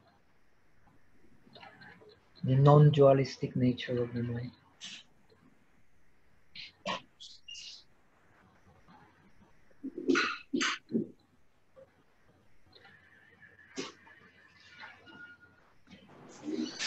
The mastery.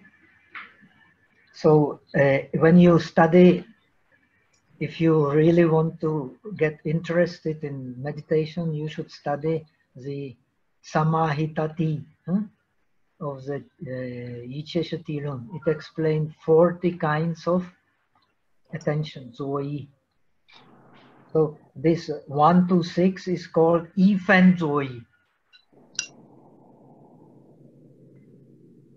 and 嘉兴究竟国作为 is 一端作为 hmm? that means 积分作为 so the first six are preparation for the 积分作为 for the 一端作为 that is 解脱道 to get the 解脱道 you need 无间道 which 端烦恼。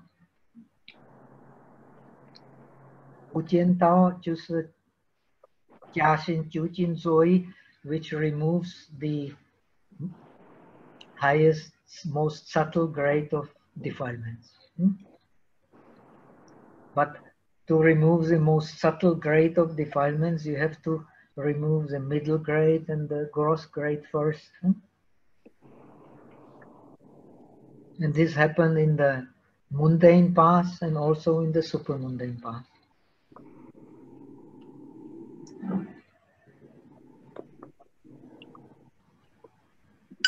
The mastery of shamatha and vipassana are linked to three methods.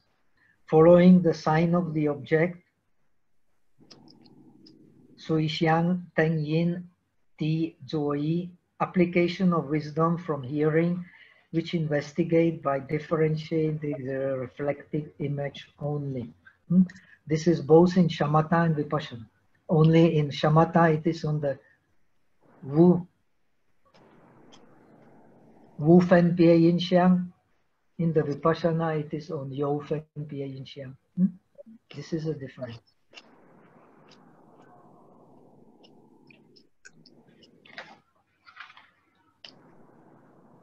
Then which is the next one?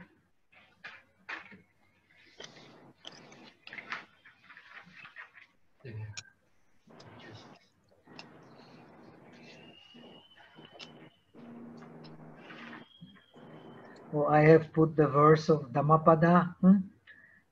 Uh, Yatha rahado gambiro vipassano anavyo evam dhammam sutvana vipassati pandito. Hmm? Uh, your mind by understanding the characteristics of the object, you had uh, Liao Xiangzui, hmm? your mind becomes clear.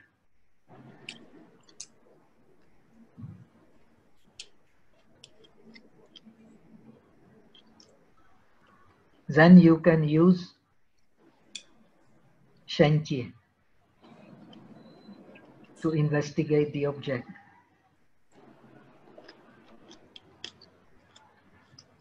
And you can get realization.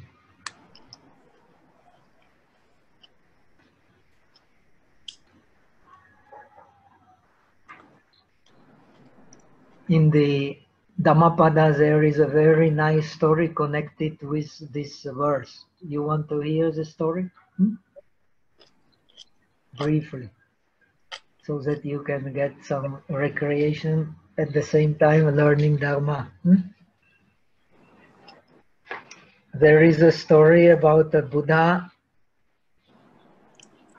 giving a discourse to three laymen. Hmm? And Ananda, as usual, sitting next to him, remembering what he's teaching then while he is teaching, uh, one of the uh, three laymen, he is uh, has a clear complexion, shining complexion, hmm?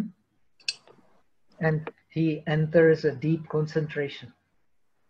The other one is playing with the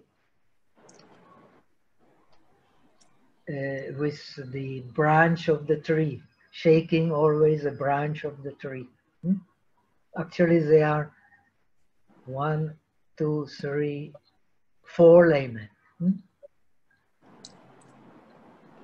The other one is, while he is hearing the discourse, is using his fingers to dig into the earth, hmm? always like this.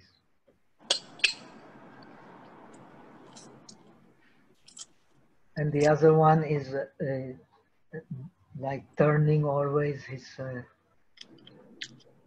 his hand. So uh, the Ananda, after they have left, the Ananda asks a question to the Buddha. Why? What is this reason? The one is so calm and uh, shining and so appeased, and the so this is the work. Just like a deep lake with a crystal clear water, so clear becomes the mind of a wise man hearing the Dharma, hmm? understanding the characteristics of the Dharma. Hmm? So he makes a resolution to penetrate the Dharma and he can realize. Hmm? Now the other, so he says uh, one who was uh, shining, he has attained enlightenment. Hmm, probably it means the first stage of enlightenment, Sotapanna. Hmm. But maybe second, third, we were not there, I don't know. Hmm. The other one who was playing with the branch while hearing the Dharma, he could not concentrate his mind. That's because he had the sichi, hmm?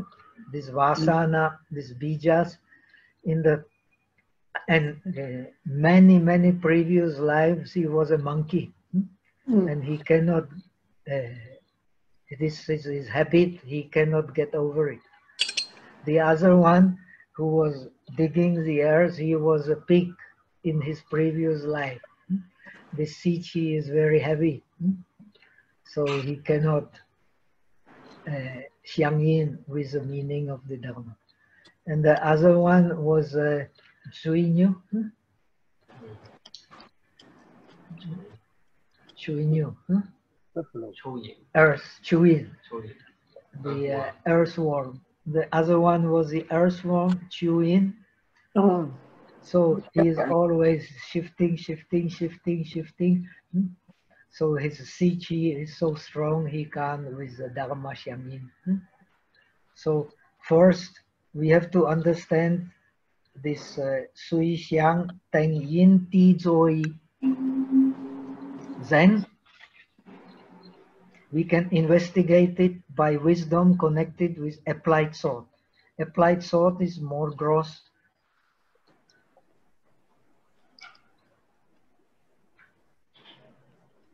but it can it has a power of wisdom but it cannot penetrate the reflected image fully. Hmm? neither the shamatha image nor the vipassana image. So then it comes investigation it thoroughly by sustained thought. That is application of wisdom from meditation which can well penetrate the reflected image and such such witness liberation. Liberation in worldly sense, the dhyana, and the liberation in the supermundane sense also, hmm, the supermundane dhyana.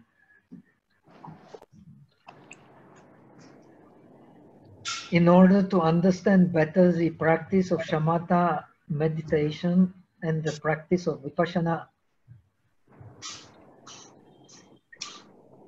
which is based on it, one should try to get some un- understanding of the mental process as taught in the Yogacara. Without actually, the shamatha is a mental process, the vipassana is a mental process. What we experience in daily life in terms of differentiating the object is only mental process. Hmm? Now, the peculiarity of the Yogacara is that this mental process happens all in mind. Hmm? It does not need an outer object. In other tradition, we will explain briefly, maybe Theravada, we have not time, but Theravada, Sarvastivada, all uh, take the outer object as something real. Yet they clearly explain also that the outer object is inseparable from the mind. It cannot exist without the mind. This is very important to understand to understand Buddhism. The table and the hardness of the table and the sensation of the hardness of the table, they are one process, not a two processes. Now, because our dualistic delusion, we understand the hardness of the table be different from the sensation of the hardness of the table. So we are deluded and we think the object is something which is separate from our mind. But object can never happen separate from the mind. There is no such a case of an object separate from the mind. Whenever there is hardness, there is a sensation of hardness.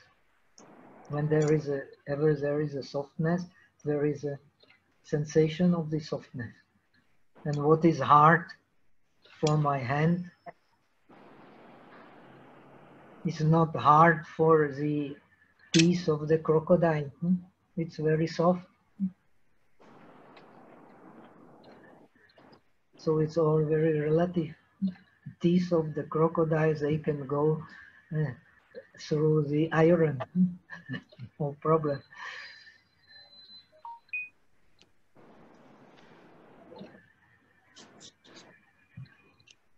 There is a very famous story of Milarepa. I'm telling too many stories tonight you want to hear?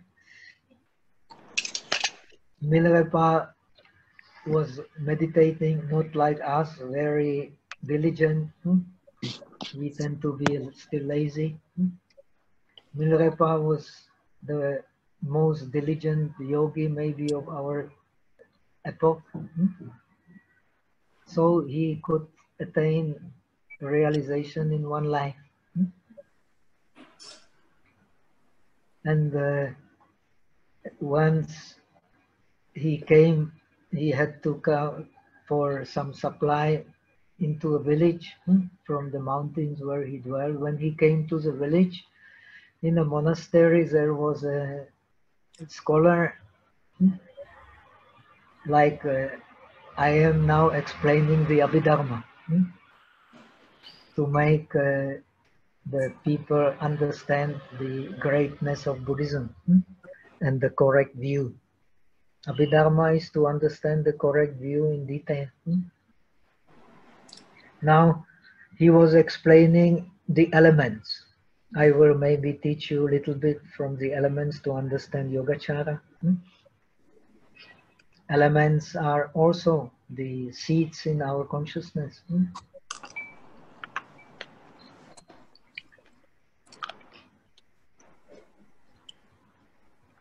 Now, uh, he was explaining the hardness like this, huh? the softness, and so on. The hardness is the earth, huh? the cohesion is the water, huh? the heat is the fire. Now the uh, old Milarepa was passing by and he uh, was uh, saying, no, it's not, it's not like that.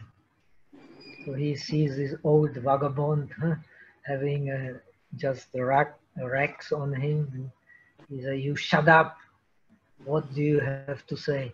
Very proud scholar. huh? So he say, he continues speaking. He, Milarepa says, no, no, no. Hardness is like this. You stupid idiot. That he put his hand on the rock. He was standing next to the rock. Uh, is this not hardness? Milarepa says, no. And he put his hand through the, through the it's our mind. hmm? Okay, so we are not on that stage, but you can manifest the mind if you become a Milarepa. hmm? Okay.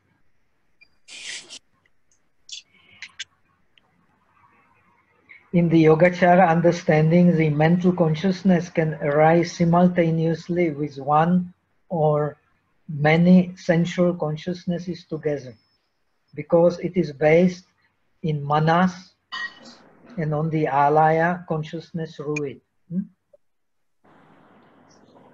So the uh, place of the alaya is the whole of the word chisha, hmm? that is its truth. So everything we experience is alaya. So, and it is also what we experience now. We experience the sound and we experience the hardness of the body or pain in the knee if you say stay long. But according to Theravada, actually you cannot experience two objects at the same time because the speed of the mind is so fast so you don't see it but when you experience the other object the mind will go through that object but it happens so fast so like you have a film hmm? the film you have the impression that it is a, a one movement but it is all broken broken broken broken uh, thousands of times Mhm. in one minute hmm? because its images are flashes, right? Similarly, is our consciousness. It can have only one image time, hmm?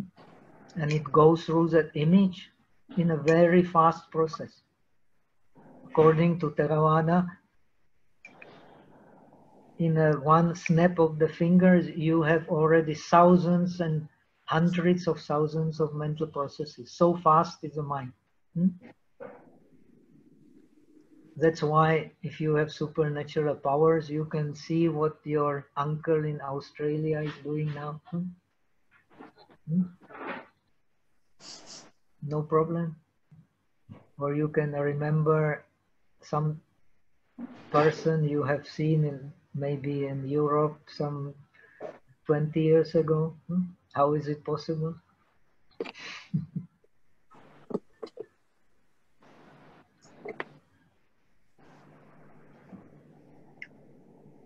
So you can have only one image in mind at the moment. hmm? Now, the importance of meditation is that in meditation you can keep that image. So by keeping that image, the mind will slow down. And because it slows down, you can investigate it Mm. on that image. hmm?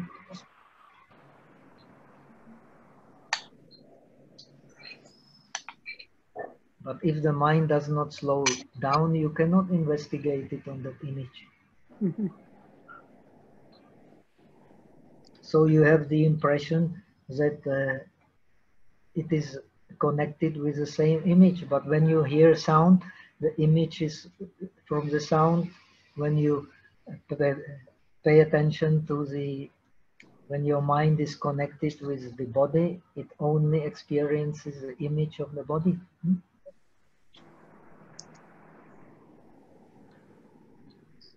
So this is the Theravada explanation. It all makes sense according to the attention you use. If you use attention according to Yogacara, you will experience according to Yogacara. If you use attention according to Theravada, you will experience uh, the mental process according to Theravada. Now you are learning to experience the mental process according to Yogacara. Hmm?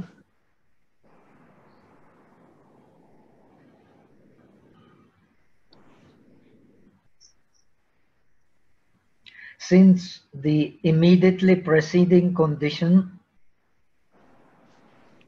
Teng Wu Jian Yuan, gives rise to many different mental factors. hmm, It can, according to Yogacara, also give rise to many different minds, like many waves arise in one ocean, which is alaya. Hmm? I have taught you the Buddha has compared our ears to the ocean, our eyes to the ocean, our body consciousness to the ocean, but actually there is only one ocean, and it is alaya. When you can tolerate the waves in this ocean, one ocean, you can go beyond the mind. Hmm?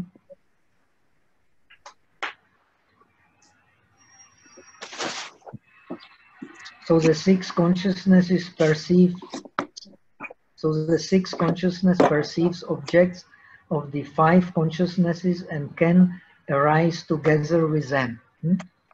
So you can have sensation in the knees, and at the same time you can differentiate what I'm teaching you. Hmm?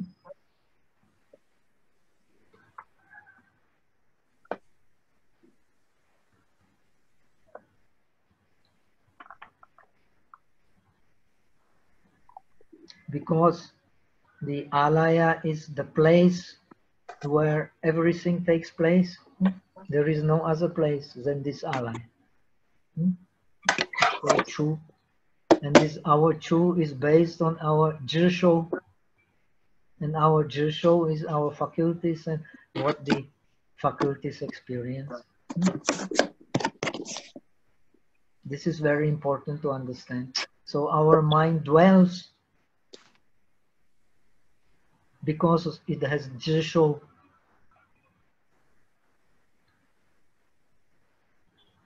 Because it has jisho, so we are in samsara.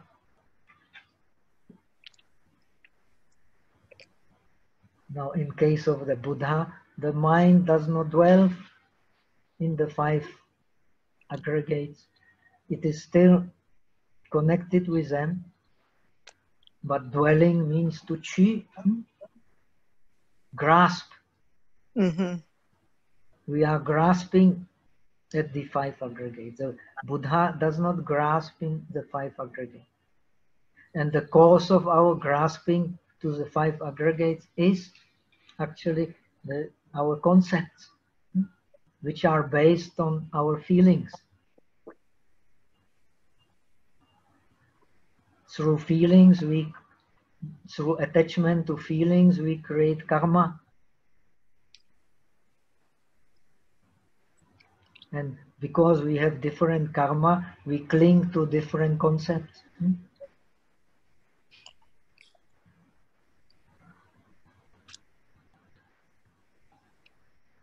So this uh, woman is desirable for me. If It is not desirable for you, maybe. Hmm? This uh, uh, car is desirable for you, is not desirable for me, and so on. Hmm? This is our world. Mm-hmm. All this is clinging to the concept.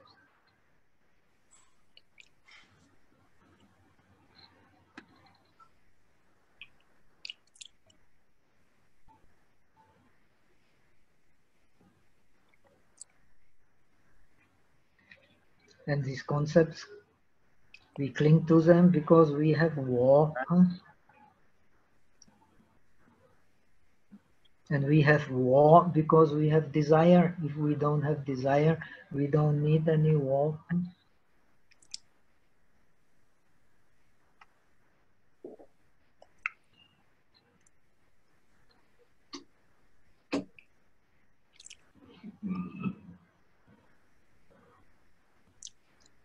So the sixth consciousness perceives object of the five consciousnesses and can arise together with them. Otherwise, no object can be seized clearly. Hmm? To seize clearly the object, you need the sixth consciousness. Hmm? And sixth consciousness has to dwell on the object in order to seize it clearly. Hmm? So the whole process of meditation is based on the sixth consciousness. But the sixth consciousness cannot function without the manas and without the fifth consciousnesses.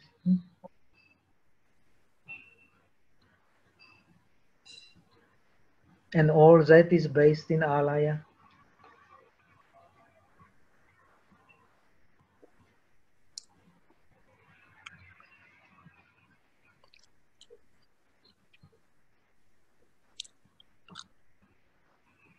It is because it is with seizing the differentiation, savikalpa, yofenpie, while the five consciousnesses are without seizing the differentiation.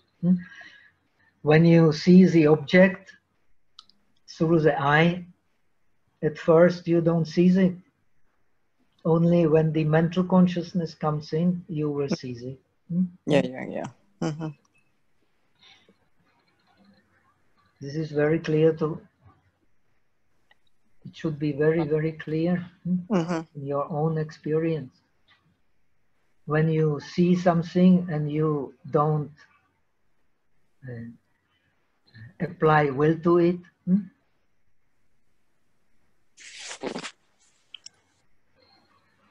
you don't apply attention to it, then uh, you the object will be there, but you will not grasp it. Mm-hmm.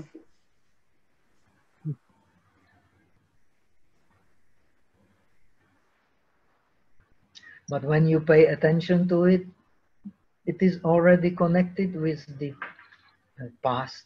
hmm? Then the mental process appears because the mental process starts with the attention. And attention is already connected with the past. Mm.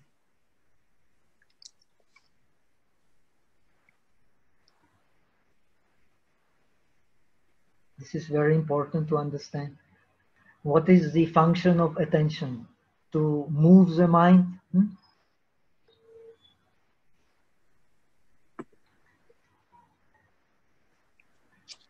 Because the mind is moved, it goes to the object. hmm? Mhm. When it goes to the object, it can differentiate.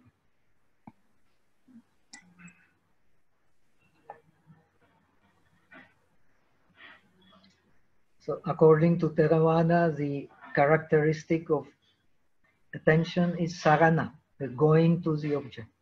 Same in uh, Yogacara, Tungshin, Zoyi Wei Tungshin. 因为心动，所以它因心往所缘。嗯 And when it yin shin one soyan, what is its yeah? What is its function? Hmm? According to Theravada, it coordinates the other mental factors. What is the uh, mental factor which coordinates all the mental factors? Chetana, the will. hmm? So when there is attention, there is already will. hmm?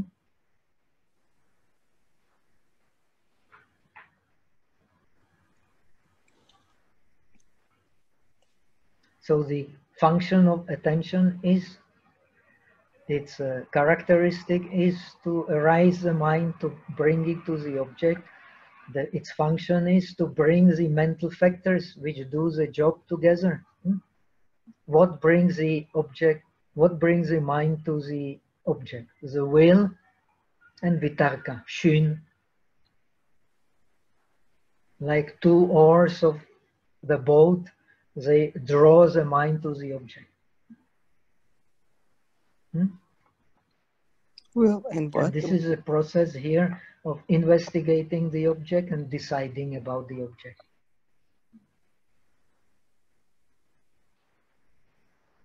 When, it- when you have just shuai er, you don't need any shin. Hmm? But attention is already there and will will be also there. Where there is attention, there is will. Hmm? Joy, search, punenko, fenkaita, they cannot be separated.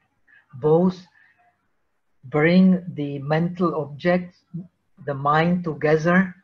That's why it can differentiate the mental the, the object. If the mind, if the mental factors are not brought together, they cannot differentiate the mental object. And who does the job? The attention and the will and the shin, hmm? shin shu. Is what creates the speech, creates the names. hmm? So Xiang is already there. And the Xiang also gives the names to the object. hmm? So we can feel it clearly. Why we can feel it clearly? Because attention and uh, will bring the mental factors together. If they are not brought together, we cannot feel the object clearly. hmm? And when we feel the object clearly, already comes liking and disliking. Mm. That is our individual work based on our alaya. hmm? Your liking is not my liking. Your disliking is not my dislike. We Mhm. all live in our little world Mhm. based on our seats. So I pay attention to something else, you pay attention to something else, he pays attention to something else, hmm? according to his uh, Sichi. Mm-hmm. And when there is attention, the mind comes together. Because there is also will, which brings the mental factors together. And because there will arise shin, which drags the mind to the object. So you can distinguish it clearly. Without shin, you cannot go into shamatha, you cannot go into vipassana, nothing. But once you get a deep, deeper concentration, then the shin is a rough force. Then the mind will drop it. And what remains is only subtle force, the sa. Hmm?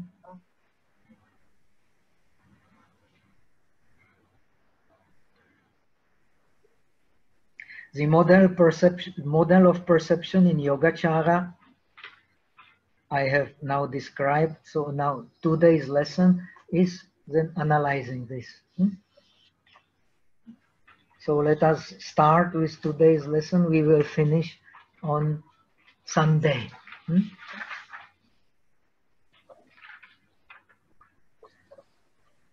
And if we have time on Sunday, I will start comparing it with uh, the system, living system of meditation,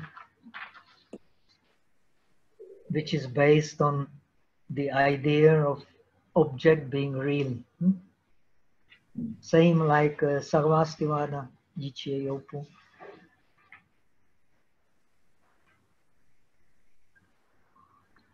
But the explanation is quite different because using different zoe, due to zoe, we, due to attention, we bring the mental factors together when we bring the mental factors together, we experience the object in a certain way.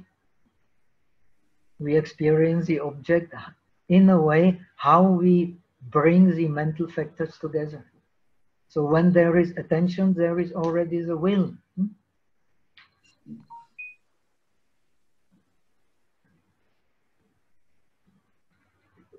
When there is a will, it is because there is a clear xiang and clear shou. Hmm? They determine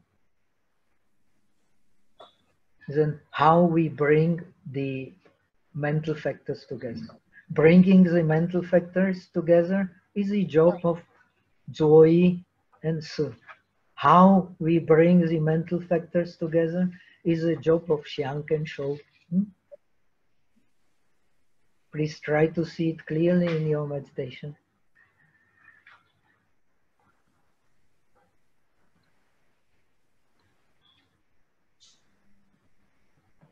As we have seen, an active mind with its mental factors in uh, Yogacara, born of the alaya consciousness,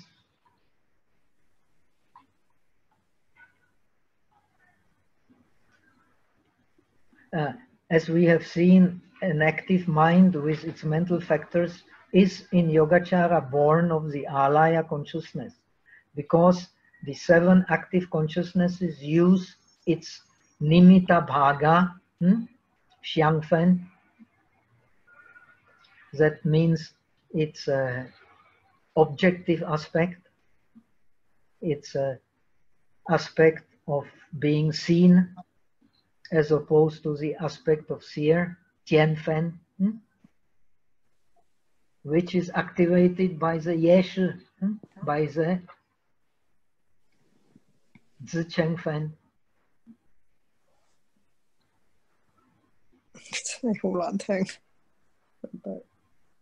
to be able to function.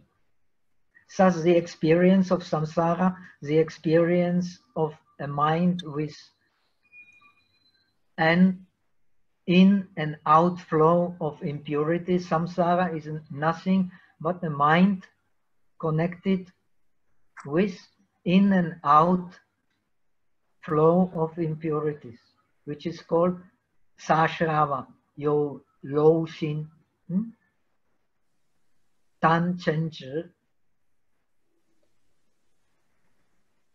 because we have tan chen zhi we have war if we don't have tan chen zhi we don't need any war hmm? mm. Tan chen qi or we have need for war huh? this is what buddha has discovered in buddhist philosophy the realization until Buddha was a realization of war. The Buddha has taught the realization of war as Wu War. Mm. And he has taught the war,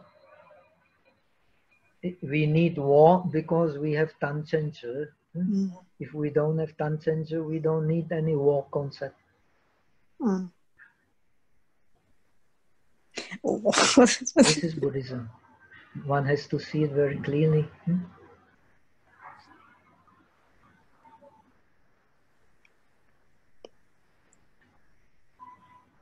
This in Yogacara explained as the transformation of mind.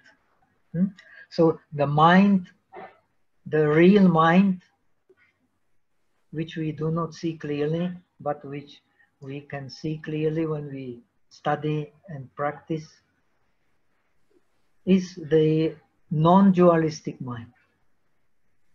But our experience is the experience of Shi Wang Fengpie, the dualistic mind, as something outside opposed to inside, and something inside as opposed to outside. hmm? But it is not the true nature of the mind, zixin of the mind. It comes from the bijas. hmm?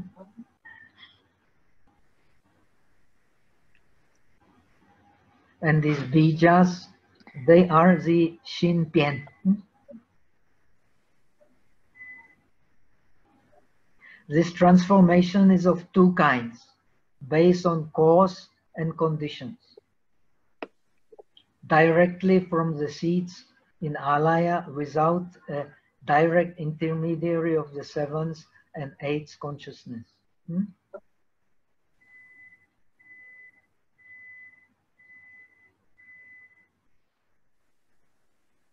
Uh, that is the first, the direct object. The, I did not put here one. You don't have one there, no? What do you have?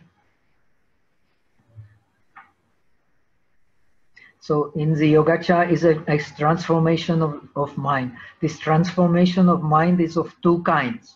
Uh, there is one. hmm? First, based on causes and conditions directly from the seeds in alaya, without a direct intermediary of the sevens and six consciousnesses. So what we reflect when we in flesh, when our eye faculty is connected with the color. hmm? So there is like flash of this color is reflected in the sensitivity of our eye, hmm? which is called jingse. It is a technical term in Buddhism. hmm? This reflection is like a flash. Hmm? Then the mind, six consciousness, works on this reflection. But when this reflection appears with attention, we already bring the past experience. Hmm. Because it is connected with the seeds. Hmm? This is very important to understand. The eye consciousness is vipaka, is issue. You should understand that. Issue means transformation from the past. Eye consciousness is issue. The hearing consciousness is issue. hmm? Is vipaka, resultant consciousness. It is a result of what? Result of our karma. Hmm? Because in the past life we have the desire for seeing, so we have eyes in this life. Hmm? Very simple.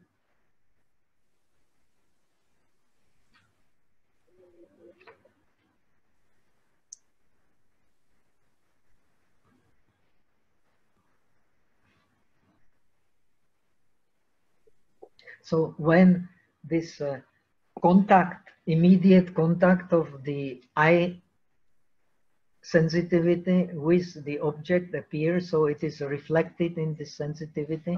It is like a flash. Mhm. hmm?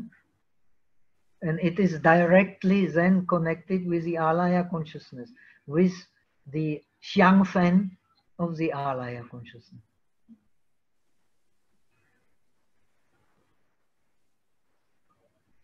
Hmm? This xiangfen of the alaya consciousness is is the result of the ye consciousness. Hmm? Ye shi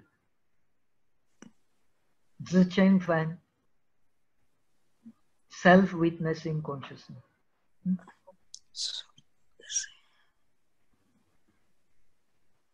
So alaya is the Ishuang. It is the king of the resultant consciousness. The eye, ear, nose, tongue, body is the servant of the king. Mm. The mind. Yeah. This should be very clear. Mm. Yeah, So you have uh, other consciousnesses based on vikalpa. Vikalpa means sui fen pie pien. The other consciousnesses except the eye consciousness, ear consciousness, nose consciousness, bodily consciousness, hmm? and the tongue consciousness, Tongue. Mhm. and the alaya consciousness, of course, because these consciousnesses they reflect the xiangfen of the alaya. The other consciousness goes through the filter of the manas. hmm? So they are sui fen pie pien. Eight kinds of vikalpas in Yogacara based on the three basic vikalpas in the Abhidharma Kosha. So what we experience already are the vikalpas, hmm? The sui fen pie, these three basic vikalpas you will find in Jishurun, huh? Zishin, fen pie, Jitu fen pie, uh, Yin fen pie. The idea of self-nature based on vitarka because we investigate the object as something lasting. We have the idea of self-nature. Deduction, hmm? anumana. We conclude it must be like this because we deduce it. hmm? And from memory,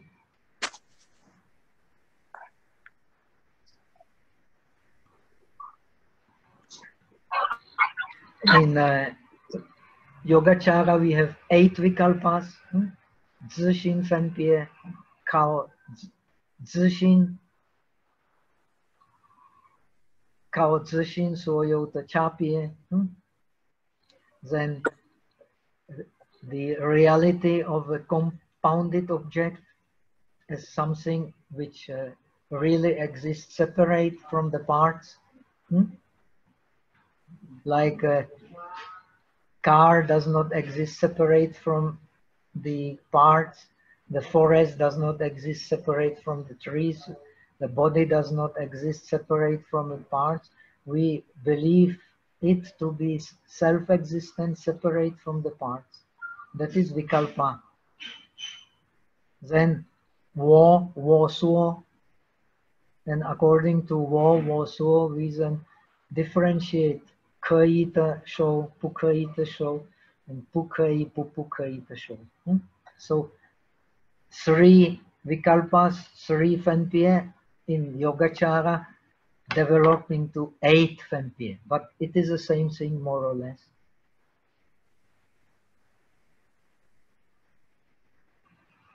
Because we believe in the self-existence of person and things, so we have Zishin Pempias and we deduce that it is like this or it is like that. She is uh, really beautiful and will be always beautiful. And she's uh, always desirable, will never be not desirable. And this is all from the connected with the memory.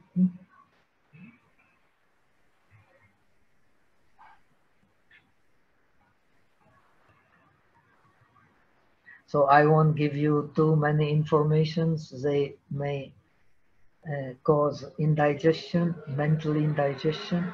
We will continue next lesson. And if we have time, I will add to this so that you see how mental process can be different if you put object into mind in a different way. Hmm? Sarvastivada makes object in the mind in a different way, Theravada in a different way, Yogacara in a different way. So the whole system depends on how you make the object in the mind. And we are deluded about the objects because we apply self-existence. This is our deep habit, which the Yogacara tries to destroy by making it clear to you that the reality of dualism comes from the mind itself, not from the world. Hmm?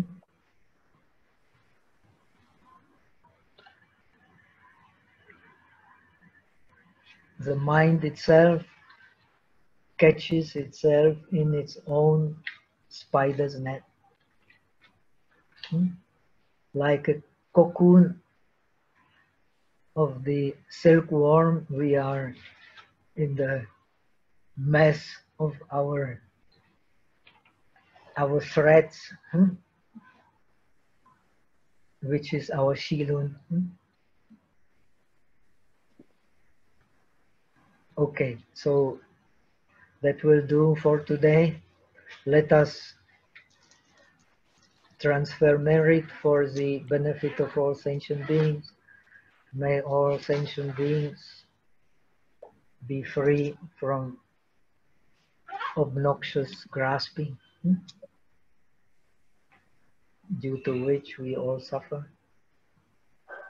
愿自功德不计一切， 我等一众生皆共成佛道。Thank you. See you on Sunday. Bye bye. 梁先生，你好吗？声音，开声音。那声音在开哪里？这里，没有声音。 Please prepare some good questions so that we can uh, get uh, further. I see some of you may have good base in in Buddhism. Some of you, it seems, have not yet this base. Yogacara is a little difficult, so please try to clarify these concepts and do a little bit reading. I advise you at least to read a little bit Jishalun hmm, to get some basic Buddhist concepts.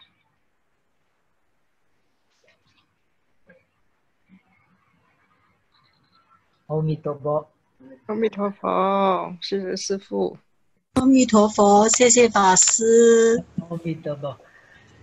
See you on Sunday. See you on Sunday，拜拜。